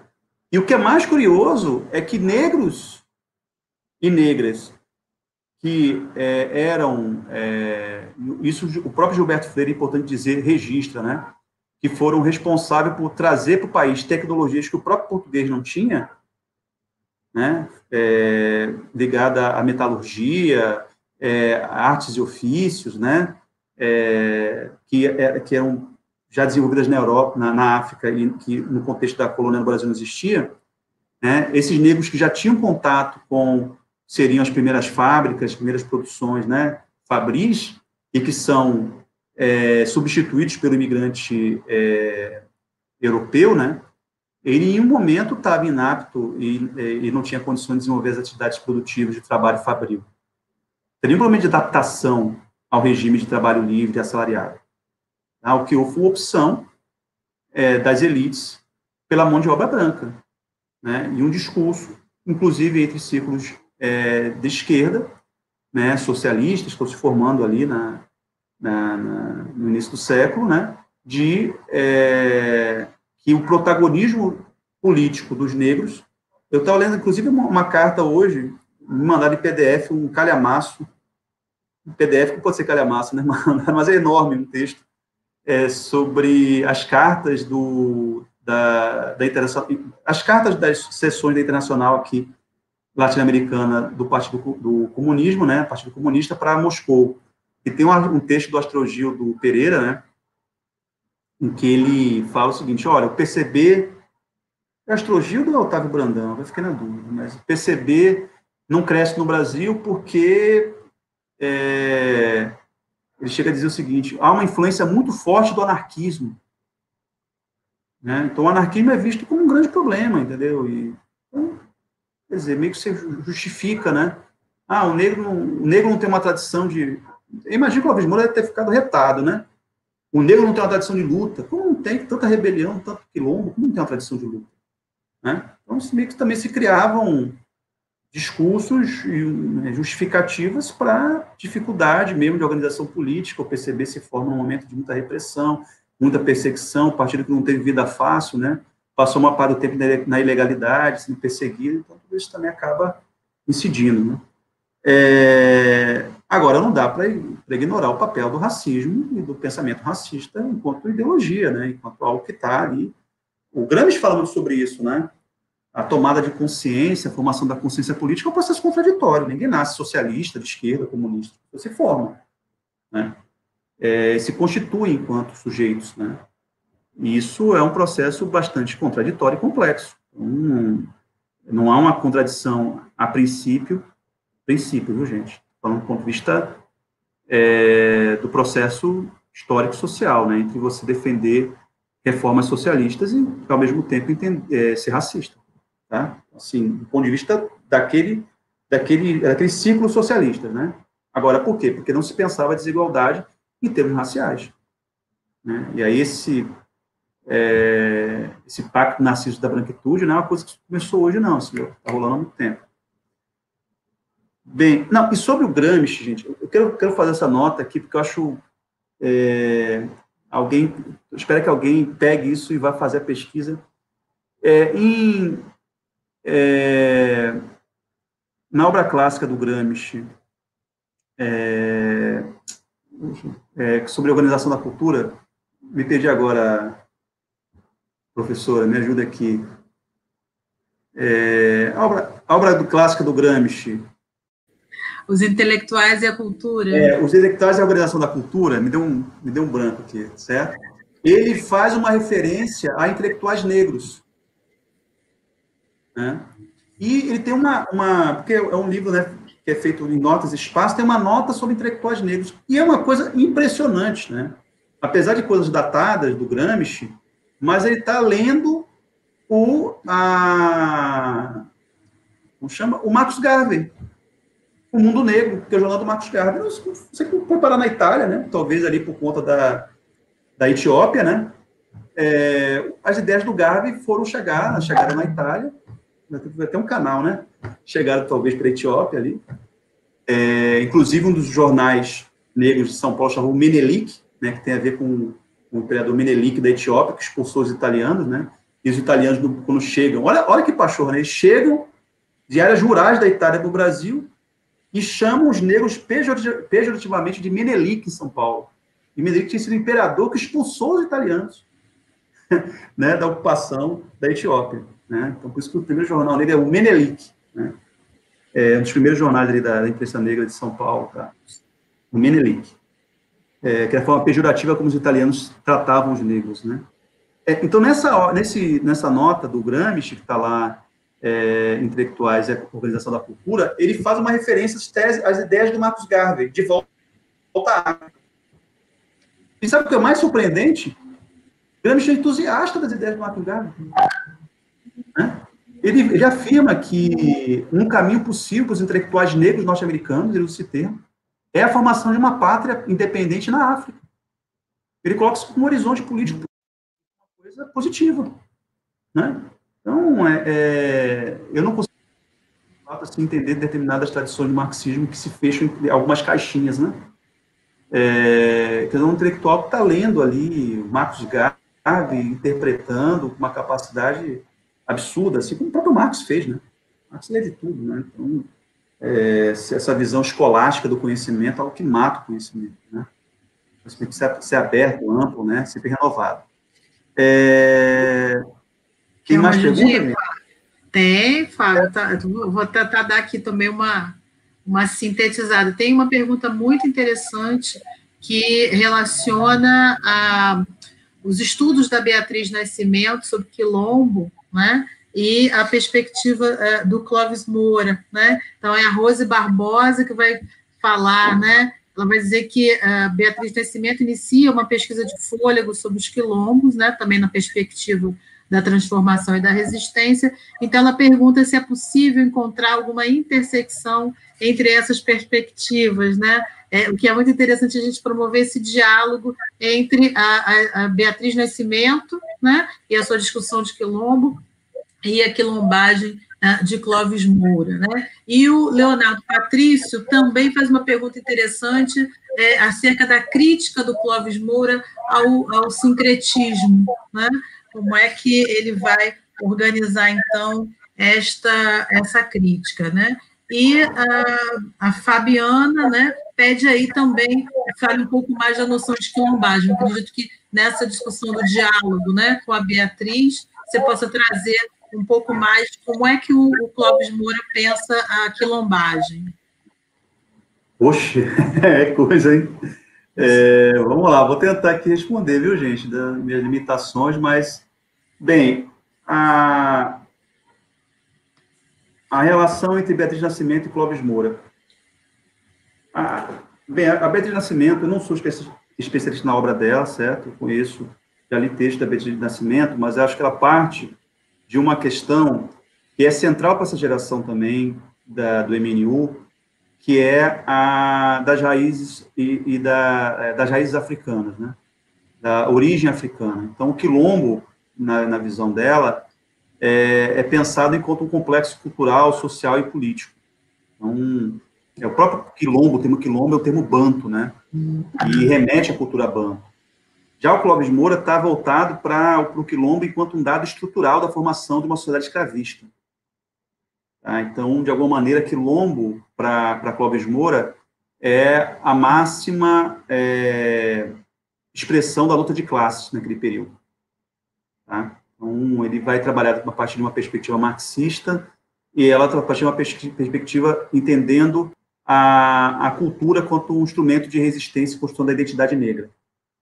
É óbvio que isso no Clóvis Moura, em 59, é um acento muito mais nas relações de produção, no modo de produção, né? Está muito preocupado com, preocupado com isso, né? Isso vai, de alguma maneira, se enriquecendo ao longo da sua obra, tá? Então, por exemplo, tem um texto do Clóvis é, que está na Sociologia do Negro Brasileiro é, sobre Exu, né? Exu, símbolo libertador. É um texto fantástico do Clóvis Moura. Né? É, a leitura que ele faz sobre Exu, o papel que Exu tem do ponto de vista da, da, da questão da identidade negra, da questão dos conflitos raciais, a forma como se assume, é, é uma coisa interessantíssima e partindo de um, de um autor, né, é, marxista, ateu, né, e que, é, no meio do início, né, da, da, da, obra dele, tem um, tem um certo, tem um, um distanciamento, né, porque está muito vinculado ali com a questão objetiva do modo de produção, da organização da produção e assim por diante. Então, é um diálogo não só possível, como necessário. Né?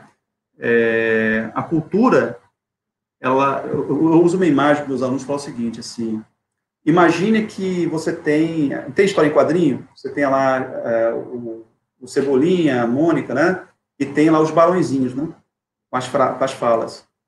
Então, imagine só os balãozinhos. Faria, faria sentido? Não, não né?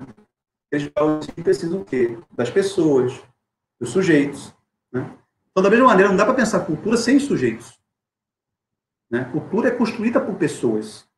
Senão você é, estabelece quase uma visão é, metafísica da A cultura negra se reinventa, ela é plástica, ela né, se reconstrói, ela é dinâmica, né, ela se enriquece. O candomblé é uma criação do Brasil. É a partir de elementos da cultura africana. Né? Ela é afro-brasileira. Tá? Então, é, mas tem uma dinâmica. Né? Tem elementos, obviamente, é, que são é, uma espécie de etos, sim, mas eles são reinventados, certo? Então, é, acho que esse elemento da, da as coisas, como, como as coisas se ligam, as temporalidades, as formas de produção, né?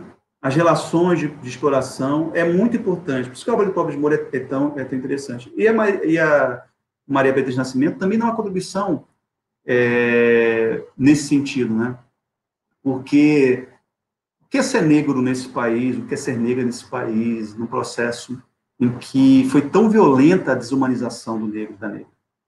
É, então, é quase que um, que um, que um processo é, natural em que a gente, que a gente retome né, as nossas raízes e os nossos é, laços com a cultura africana, a cultura negra. Né?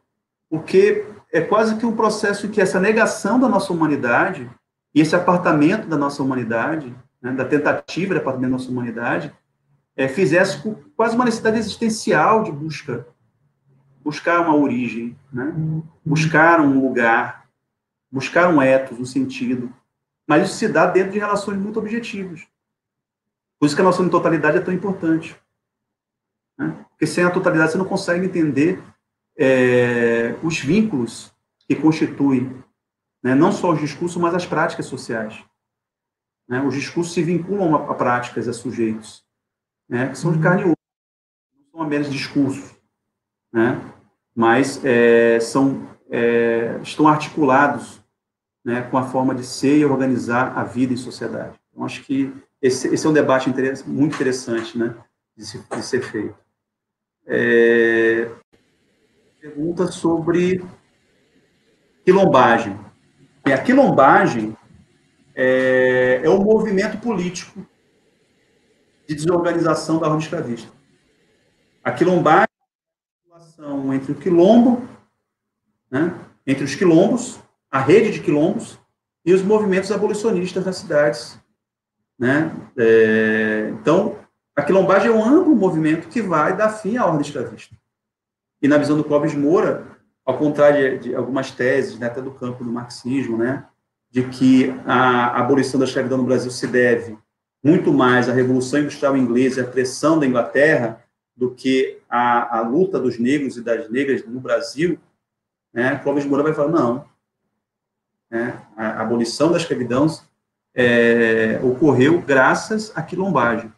Né, então, a quilombagem é um conceito né, que vai é justamente é, organizar e dar sentido a esse conjunto de manifestações de rebeliões e de lutas né, que se dão a partir da agência do negro. Né? E é, uma, é, um conceito muito importante para se pensar. Né? Não só é, é o que Cláudio Moura chega a dizer o seguinte, que as raízes do Brasil né, remontam, a, que chama, raiz do Brasil é meio provocativo, né? as raízes do Brasil remontam a sua, é, a sua quilombagem, dá para entender o Brasil sem esse processo da quilombagem. Aí é uma, uma, uma negação é, de Gilberto Freire, né? Casagrande Senzala. É, Gorender e Clóvis Moura, então. É importante essa relação entre o Gorender e, e, e Clóvis Moura. São autores que são marxistas, né, têm elementos em comum, mas é, enquanto o Gorender enfatiza mais os aspectos estruturais, né, o Clóvis Moura vai dar, é, vai dar mais importância, vamos dizer assim, enquanto o Gorender vai analisar os, os aspectos estruturais do ponto de vista da formação e da conservação da ordem social, né, eu não estou falando aqui de um determinismo puro e simples, mas estou dizendo que é uma ênfase, tá? o Clóvis Moura está preocupado com os aspectos da transformação social e da mudança social. Tá? E isso, de alguma maneira, é, é importante né, para a gente estabelecer paralelos e diferenças. Tá? Clóvis Moura cita é, o Gorender, tem o Gorender como referência, principalmente é, no conceito de modo de produção escravista. Tá? Então, eles bebem, vou dizer assim, um referencial teórico muito próximo, mas as ênfases são distintas. Tá? É, diante é, diante do fundamentalismo cristão no Brasil, pergunta da Malu Vale. Diante do fundamentalismo cristão no Brasil, pensando o histórico das religiões de matrizes africanas em que se relacionam com os movimentos de esquerda, como Clóvis Moura nos auxilia a pensar a atualidade. E aí talvez seja interessante a gente você poder trazer também alguns elementos para o que o, o, o Patrício Leonardo né? fala sobre sincretismo, né? Olha, vamos lá. O que, que o Cláudio Boa está falando, gente? Uma coisa meio óbvia, né? Para ter sincretismo, você tem encontro entre culturas. Cultura A se encontra cultura B, sincretiza, forma a cultura C. Tá? E o sincretismo é muito mais um processo de embranquecimento da cultura africana do que a africanização da cultura branca. É, aí na visão do Cláudio Moura, por que isso acontece? Porque isso é um dado estrutural. Existe uma classe dominante que é branca e uma classe dominada que é, dominada que é negra. Então não dá para, dentro de uma ordem social, né, é, em que relações de produção se baseiam na exploração da mão de obra é, é, é, negra pela branca, entender que houve uma espécie de encontro entre culturas em que A se encontra com B e produz C, que é a ideia do sincretismo, que seria uma indiferenciação cultural. É óbvio que a, a, a produção está é, tá ligada, é, a forma de produção da, da, da, daquela sociedade, ela está baseada numa relação de exploração, que tem os seus aparelhos ideológicos, que tem a igreja, que tem a, seria as escolas, né, que tem a, um conjunto de, de aparato que justifica aquela relação de dominação. Então, é dentro dessa relação profundamente é, é, desigual e opressiva que a cultura africana ela busca estratégias de, de, se preservar, de se manter, né? E essas estratégias não podem ser fundidas com secretismo. Então, no caso da Bahia, né, é, Santa, Santa Bárbara e Ançã não se, não se deve porque os, os ou Senhor do Bom Fio Oxalá, né, eu confio de Oxalá, numa sexta-feira, né, é, não se deve é, ao fato de que existe uma, uma, uma espécie de mescla entre as culturas. Mas ser uma estratégia de poder cultuar Oxalá ou, Santa, é, é, ou Yansan, né, no momento em que a religião oficial é a religião católica, e que os cultos de origem africanos eram é, tratados como, né, como hoje faz algumas denominações é, fundamentalistas, como cultos satânicos, né, bárbaros, selvagens, e assim por diante. Tá? Então, a visão do Clóvis Moura é essa. Né? E, e, nesse sentido, o Clóvis Moura ele dá uma contribuição né, muito importante para a antropologia e para as ciências sociais, também nesse campo. Olha que interessante. E ele parte de uma premissa que é marxista. Né? Ele está falando da estrutura social.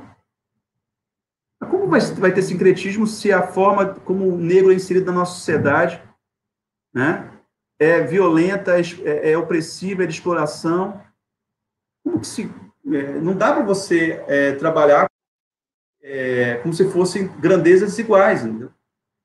Existem diferenças, né? diferenças estruturais. Então, isso é um dado importante, porque dá a impressão que a cultura é um campo aberto e que as coisas se articulam de forma livre, sem os condicionantes sociais. Por isso que a cultura negra, na visão do Paulo Irmão, é uma cultura de resistência. E será de resistência enquanto existir uma ordem dominante que é branca.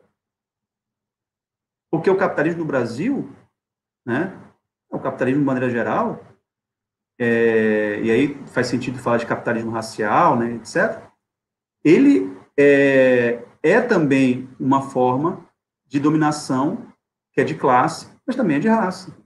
Tá? Isso não é só Clóvis Moura, não, viu, gente? Otaviani, Florestan Fernandes, tá? Só que Clóvis Moura ele está mais associado ao protesto negro, ele é, faz parte do movimento negro. Não é intelectual branco produzindo sobre o movimento negro, ele está de dentro. De dentro do movimento negro, se propõe isso. E ele é muito respeitado por essa geração do movimento negro, que vai dar origem ao MNU. Então é importante é, é, é, falar sobre isso. Agora, sobre essa, essa relação entre é, religiões de matriz africana e movimento de esquerda, olha, é bastante, é, é um pouco mais complexo, tá? Por quê? Você está falando de, uma, de, de, de, práticas religiosas que sofreram é, durante séculos um processo de, de, de perseguição. Tá? É, eu mesmo, quando escrevi sobre a revolta dos malês, né, e muita gente pergunta ah, o, o, que ficou do islamismo no Brasil, né? do islamismo negro, do islamismo dos malês. Muita coisa está no candomblé hoje, certo? Mas houve uma repressão enorme, brutal, aos islâmicos, aos negros africanos islamizados especialmente, né, é, na cidade de Salvador pós revolta dos malês. E as estratégias, né, de preservação e manutenção dessas, dessa, dessas culturas e tradições, elas foram diversas. Tá? Até porque você está tá, tá lidando com situações de uma opressão, de uma violência que é muito concreta. Tá? Então, diante de uma situação de violência extrema, a gente é, querer vincular o processo de resistência a estratégias né, que dão conta apenas do diálogo com o espectro político à, é, à esquerda, né, ideologicamente falando, é um pouco controverso. Tá? É, não necessariamente o fato de você estar no candomblé, ser do candomblé, te torna um, militante de esquerda. Pode ser de direita e estar no candomblé. E o candomblé, enquanto instituição, se vale das suas estratégias, é, inclusive da, da, relação com o mundo acadêmico. Né? Isso é um outro debate bem interessante, né? a relação do candomblé com o mundo acadêmico. Né? É, porque, de alguma maneira, foi uma estratégia. Né? A mãe menininha do Gantuá mesmo percebeu isso muito bem. Né? É, de, do ponto de vista da valorização da cultura, da cultura africana, né? É porque era muito marginalizada, era muito é, era, era, era viol, é, repudiada, né? muita, havia, havia, muita violência né, contra os, o, o quem é, pratica, né, como, né, o, o, praticava o, o candomblé.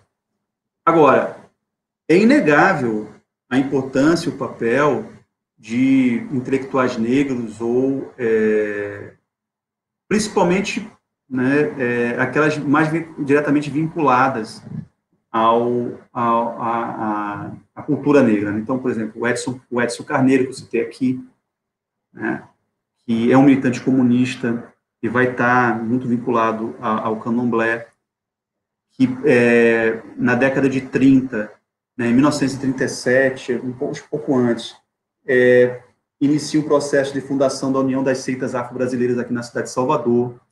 Jorge Amado, como deputado federal, teve um papel também é, buscando aprovar uma lei que, na prática, combatia a intolerância religiosa, apesar do PCB, né, e as posições ambíguas, né, a respeito, a respeito disso. Tá? Então, é, não sei se eu, eu respondi, né, é, sobre, sobre bem a respeito, mas assim, talvez tenha uma, uma, um outro dado que não dá para a gente ter uma esquerda, um movimento de caráter progressista, é, tão eurocêntrico, né? tão desconhecedor da nossa própria história.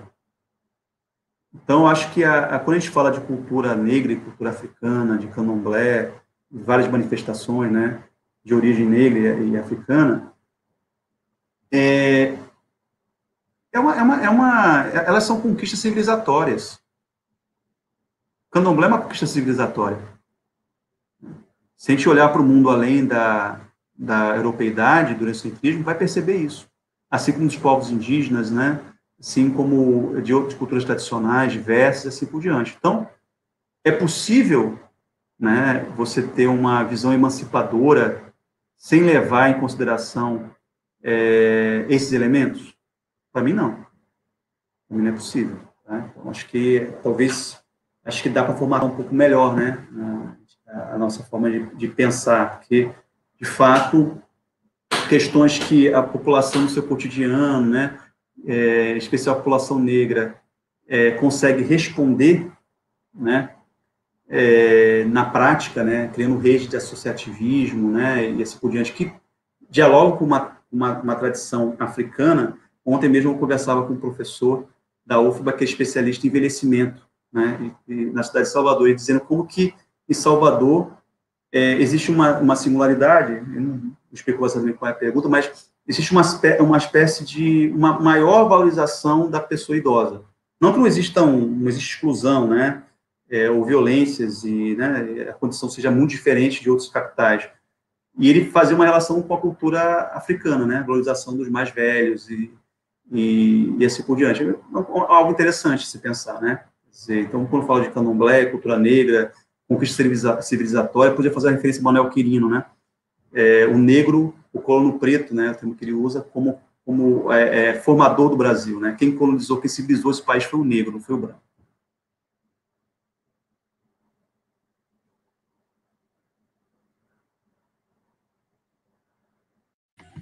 É, Fábio, me parece que aqui as perguntas elas né, deram aqui um. A gente também já está se encaminhando aí para a última meia hora, não parece, mas o tempo Passou, né? né, voa quando a gente quando a gente se diverte, quando a gente faz algo que a gente também gosta muito, né?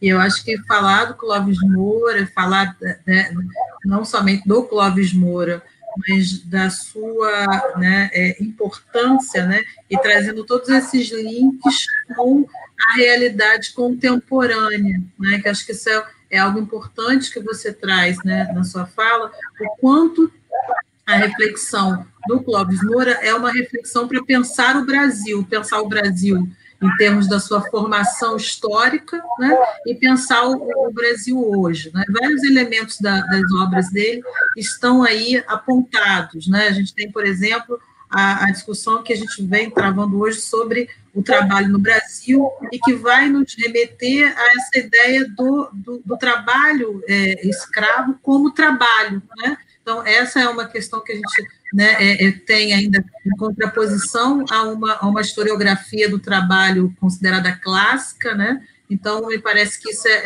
é muito importante que a gente atualize né, é, essa discussão do Clóvis Moura, a, o próprio, a própria tese sobre escravizados e livres, né, é, que, que foi é, é construída, né, e de uma maneira é, muito importante pelo é, professor da UF, né? É, ela está lá no Clóvis Moura, lá no Dialética Radical, lá no, no finalzinho do, do, do, parágrafo, em que ele diz que alguém precisa estudar um pouco mais essa, é, é, esse fenômeno de que, né, no século XIX, escravizados e trabalhadores livres estavam juntos, trabalhando lado a lado, né? então, essa, essa ideia está lá. Então, ele traz muitas pistas né, para a gente pesquisar, e eu acho que foi muito importante quando você também aqui, né, motivando todos e todas que estão assistindo a pegar as pistas, né, e também produzir suas pesquisas. A gente precisa também que a, haja um fomento à pesquisa. Então, a leitura do Paulo Moura, né, a sua, a sua, a sua fala, ela, que ela também seja um incentivo que as pessoas que estão aqui fazendo as perguntas, essas perguntas também sejam aí né, o fio de cultura de pesquisas. O professor da UFA é o professor Marcelo Badaró. É o Badaró, né? Gente estava aqui pensando como era o professor Badaró, né? E ele né, é, investe nessa, nessa discussão, né? E o seu debate sobre escravizados e livres, né? E aqui o Christian traz aqui mais uma pergunta que ele estava também trazendo talvez como né, esse final, aí também se você já puder ir fazendo as reflexões finais, em que o Carlos né, pergunta como você interpreta o diálogo da obra mouriana com a negritude, em especial com os conjuntos da obra de César e Senghor, né? Não, não, bacana essa pergunta, porque o Clóvis Moura, ele é, participa do festival do, é, não sei se é da Festac, representando a delegação brasileira, né? e eh, ele vai até é, o, o, acho que é no Senegal, né? É, não estou lembrando direito, sim, mas ele tem contato com com Senghor, né? E escreve na volta dessa dessa desse encontro assim a respeito, né? Do que é do que é a negritude, né? Então, ele tem uma visão e é, e é engraçado que é um texto que ele fala que ele fala do teatro mental do negro, né? Um texto que ele escreve na década de 70, ele faz uma referência ao teatro mental do negro, é, no período ali né, pré-ditadura militar, início dos anos 60, 50, 60.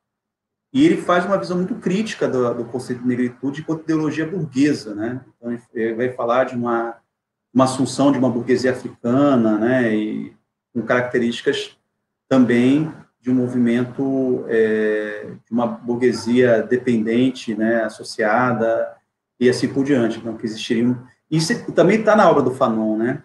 Então, ele fala de experiências é, de descolonização, né? Que foram negociadas, que foram tomadas, né? Então, que uma diferente, né, de um país para outro, tá?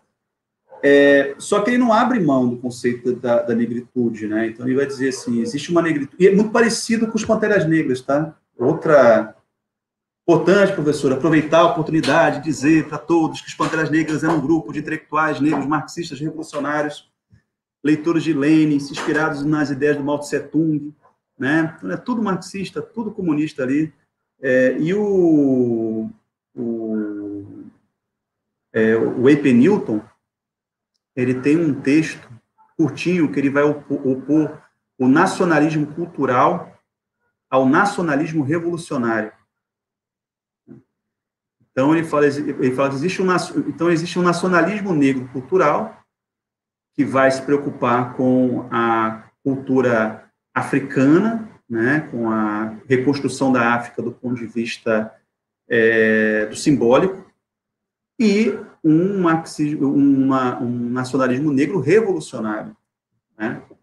que quer fazer uma revolução, que quer mudar as relações de poder, quer mudar as relações de produção. Então, nesse texto do Clóvis Moura aparece exatamente essa reflexão. Tá? Ele não abre mão da ideia da negritude, mas entende que a negritude é um conceito em disputa. Né? E a negritude é, é, é, curioso que isso aparece no texto do Cabeguelê, né? Textinho Negritude, Negritude, Uso e Sentido, com o textinho que eu indico, do professor Cabeguelê Monan, que ele vai justamente mostrar essa trajetória do movimento da negritude desde a sua origem lá é, na Europa, né? Na, na, na França, é, que é o termo que surge, né? É, de negros é, que vêm das colônias francesas no Caribe, em África, né? é, Leão da Mar, né, o Senghor, o que estão ali na França e vão produzir o, o Estudante Negro, né, Estudando ar, depois é, outras publicações, e aí surge o termo de negritude. É, e como é, de um, como é um conceito, é, vou dizer assim, intelectual, se torna um conceito, uma ideia de caráter político revolucionário. E acho que Clóvis Moura, de alguma maneira, percorre isso, né? Só que ele vai defender justamente a ideia de um caráter revolucionário e a negritude pensada, ele chega, inclusive, a formular isso como um novo universal. Né?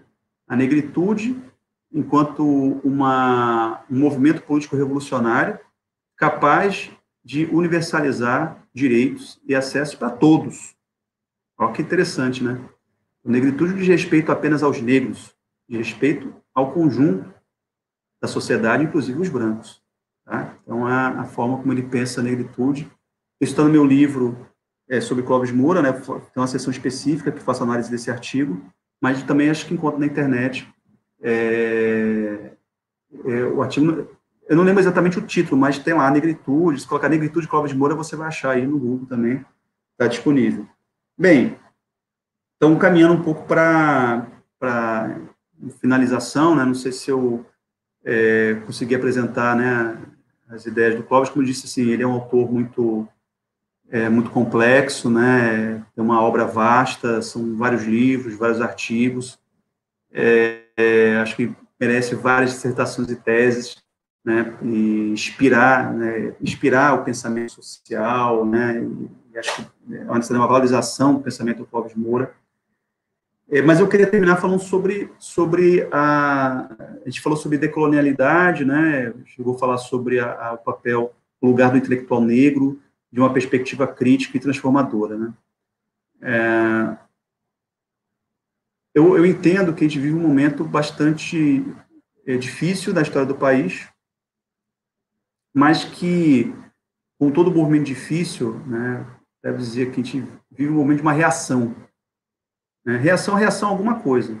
Né? Reação a, a, principalmente, a ocupação, o maior protagonismo de negros e negras, né, em espaços que historicamente foram negados, no caso, o espaço da universidade. Clóvis Moura não viu essa universidade que a gente vive hoje. Né? Talvez, se ele tivesse vivido essa universidade, ele teria mais espaço, mais reconhecimento. Né? E isso, é, isso assusta, né? isso incomoda. Então, acho que a defesa da universidade enquanto, enquanto esse espaço de debate plural, democrático, acho que é algo fundamental nos dias de hoje. E acho que Clóvis Moura dialoga, contribui para isso. Ter Clóvis Moura nesses espaços da universidade, nos espaços, né, num curso de extensão como esse, né? E outros é algo que fortalece ainda mais esse comprometimento, né? Não tem como você defender uma causa sem se comprometer com ela. O comprometimento é importante, por isso a noção de praxe, de ação, de transformação. O conhecimento não pode estar dissociado é, da ação, da ação política. A gente não tem que ter medo né, da ação política. Ela é necessária, ela é fundamental. Né? Tomar posição, tomar lado é importante. Né? Se omitir é perigoso, porque fortalece esse movimento de reação que a gente está assistindo hoje no Brasil.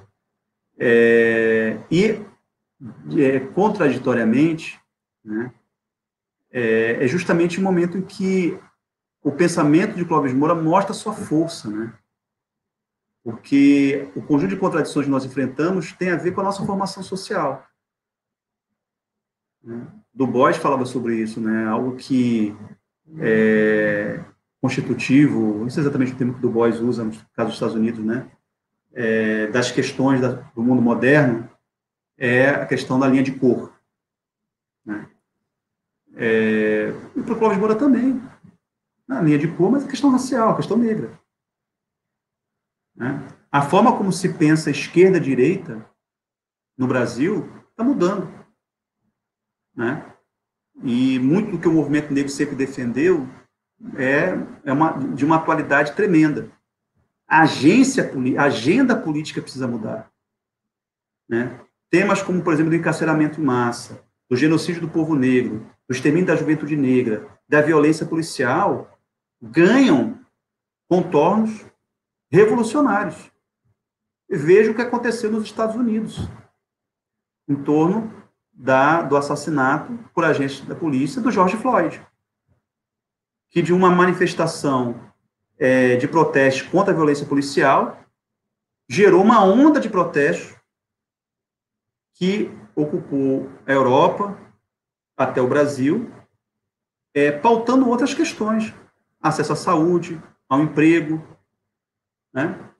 a, é, até a, a, os símbolos da opressão racista, no caso da Inglaterra, né? Aqui em Salvador também tem lá uma, uma, uma estátua de, de um senhor de escravo, está lá no, no Hospital Santa Isabel, né? É, isso é muito interessante, que mostra a potência revolucionária da, da, da, da luta contra o racismo. E nesse sentido, o que os Panteras Negras falavam, né, e o que a Angela Davis, né, até hoje fala, é muito importante, gente. A questão negra não está dissociada da questão de classe. A questão negra é a questão de classe.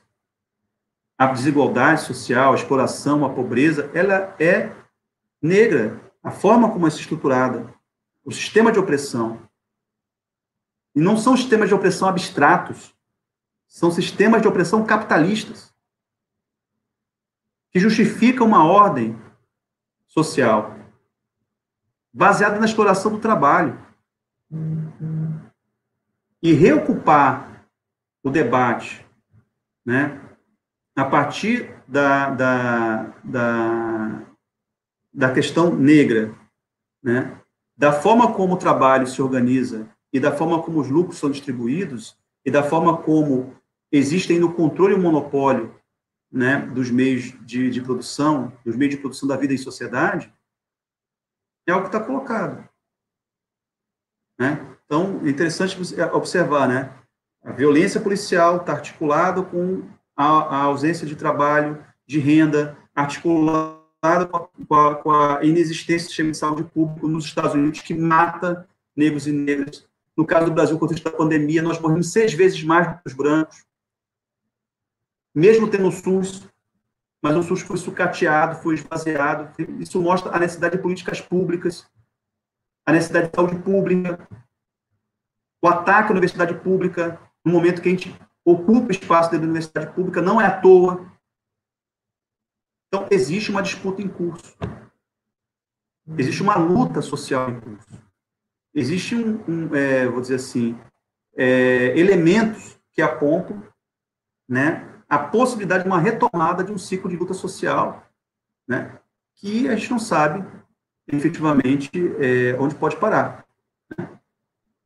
É, e acho que os Estados Unidos apontaram nesse sentido, apesar da tentativa de capturar né, é, o que aconteceu nos Estados Unidos em torno de, do debate eleitoral, seu Trump, seu outro candidato democrata, assim por diante, o que está na base ali tem um potencial muito maior do que apenas a questão da disputa eleitoral. Obviamente, ninguém quer o Trump reeleito nos Estados Unidos.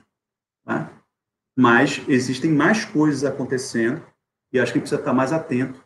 Né? Isso mostra a atualidade né, do pensamento não só de Clóvis Moura, né, mas de todos aqueles que ousaram vincular raça, gênero e classe. Esse debate é um debate constitutivo da agenda política, não só da esquerda como um todo, mas principalmente uma esquerda revolucionária, preocupada com transformações estruturais das nossas sociedades. Então, queria fechar com isso, professora.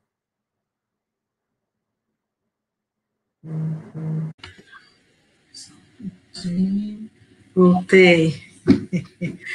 Quero agradecer demais, Fábio. Acho que foi né, é, é incrível a gente poder abrir esse curso e eu acho que esse momento que nós estamos vivendo, que contraditoriamente, né, é, com todas essas né, é, é, é, incidências, com toda essa ofensiva, é justamente nesse momento que a gente consegue reunir um número de pessoas né, grande, né, de diferentes lugares do país, algumas pessoas até de fora, né, para é, é, refletir sobre um autor que vai o tempo todo nos lembrar é, é, que a, a, prática política né, ela está relacionada à teoria e a teoria só faz sentido numa perspectiva de prática política. Né? Então, a gente tem né, é, nesse curso muitos inscritos e inscritas que são estudantes, que são né, pesquisadores, que são intelectuais, de, de, universidades ou não, né? É, e, e, o tempo todo eu acho que também é a gente poder pensar como é que a gente alia né, essa, esse nosso conteúdo a uma efetivação da resistência. Acho que o tempo todo também o Clóvis Moura pode nos ajudar né, a pensar esses elementos, porque o tempo todo eles também estavam pensando isso, estava escrevendo sobre isso, estava fazendo a vida dele dessa forma, né, e também por isso pagou o preço também, né, por essa coerência, né, é, é, é, entre teoria e prática, né, que ele vai também fazer aí uma grande crítica na sociologia, né, da prática, ele vai fazer uma grande crítica à forma academicista, né, com que a sociologia, é, inclusive a sociologia dita progressista, vai também se, se, se moldar né, ao sistema. Né? Então, eu acho que a gente começa assim com muita né, é, é, é, com muitas possibilidades. Né? É, eu quero dar alguns recadinhos para o pessoal. A gente vai, né, assim que terminar, a gente fecha o formulário de, de presença e a gente tem um, um drive também, é, tem o link no próprio formulário de presença em que nós estamos colocando né, os materiais biográficos. Então, na aula de hoje, a gente já colocou lá a dissertação do professor Fábio, né? e aí é uma fonte de consulta importante.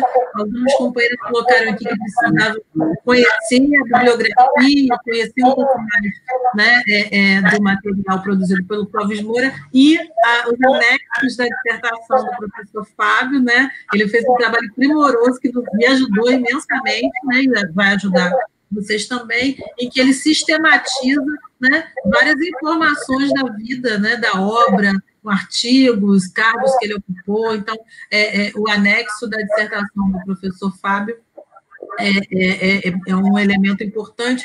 E aí eu acho que a gente também traz a responsabilidade de quem está. Né?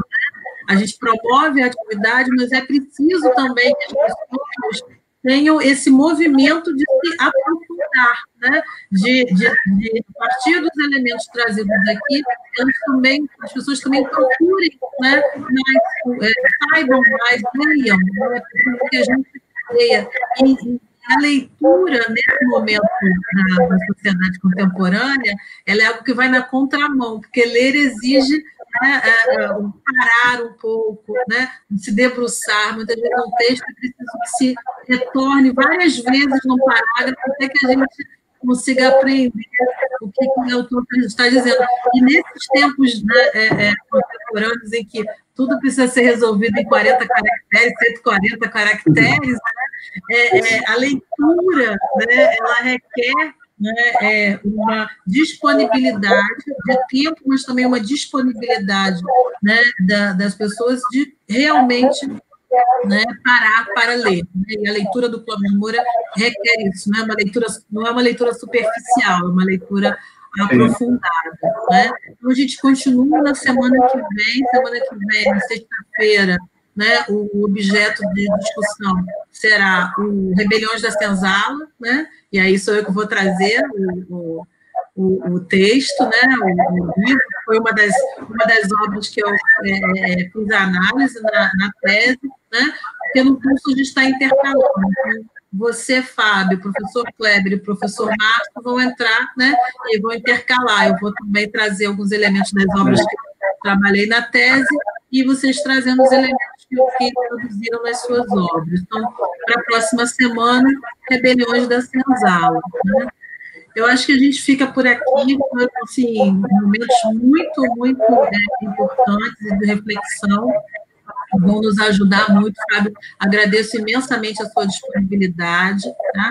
E para quem não conseguiu assistir, a gente, é, algumas pessoas, inclusive mulheres que são mães, falam assim: olha, nesse horário talvez eu não consiga, porque é a hora que eu preciso botar para dormir, como é que vai ser? Então, não, a gente também essa é uma questão importante da gente poder publicizar para pessoas que talvez não tivessem a condição de estar numa sala de aula presencial ou de estar aqui no tempo todo da, da fala, né?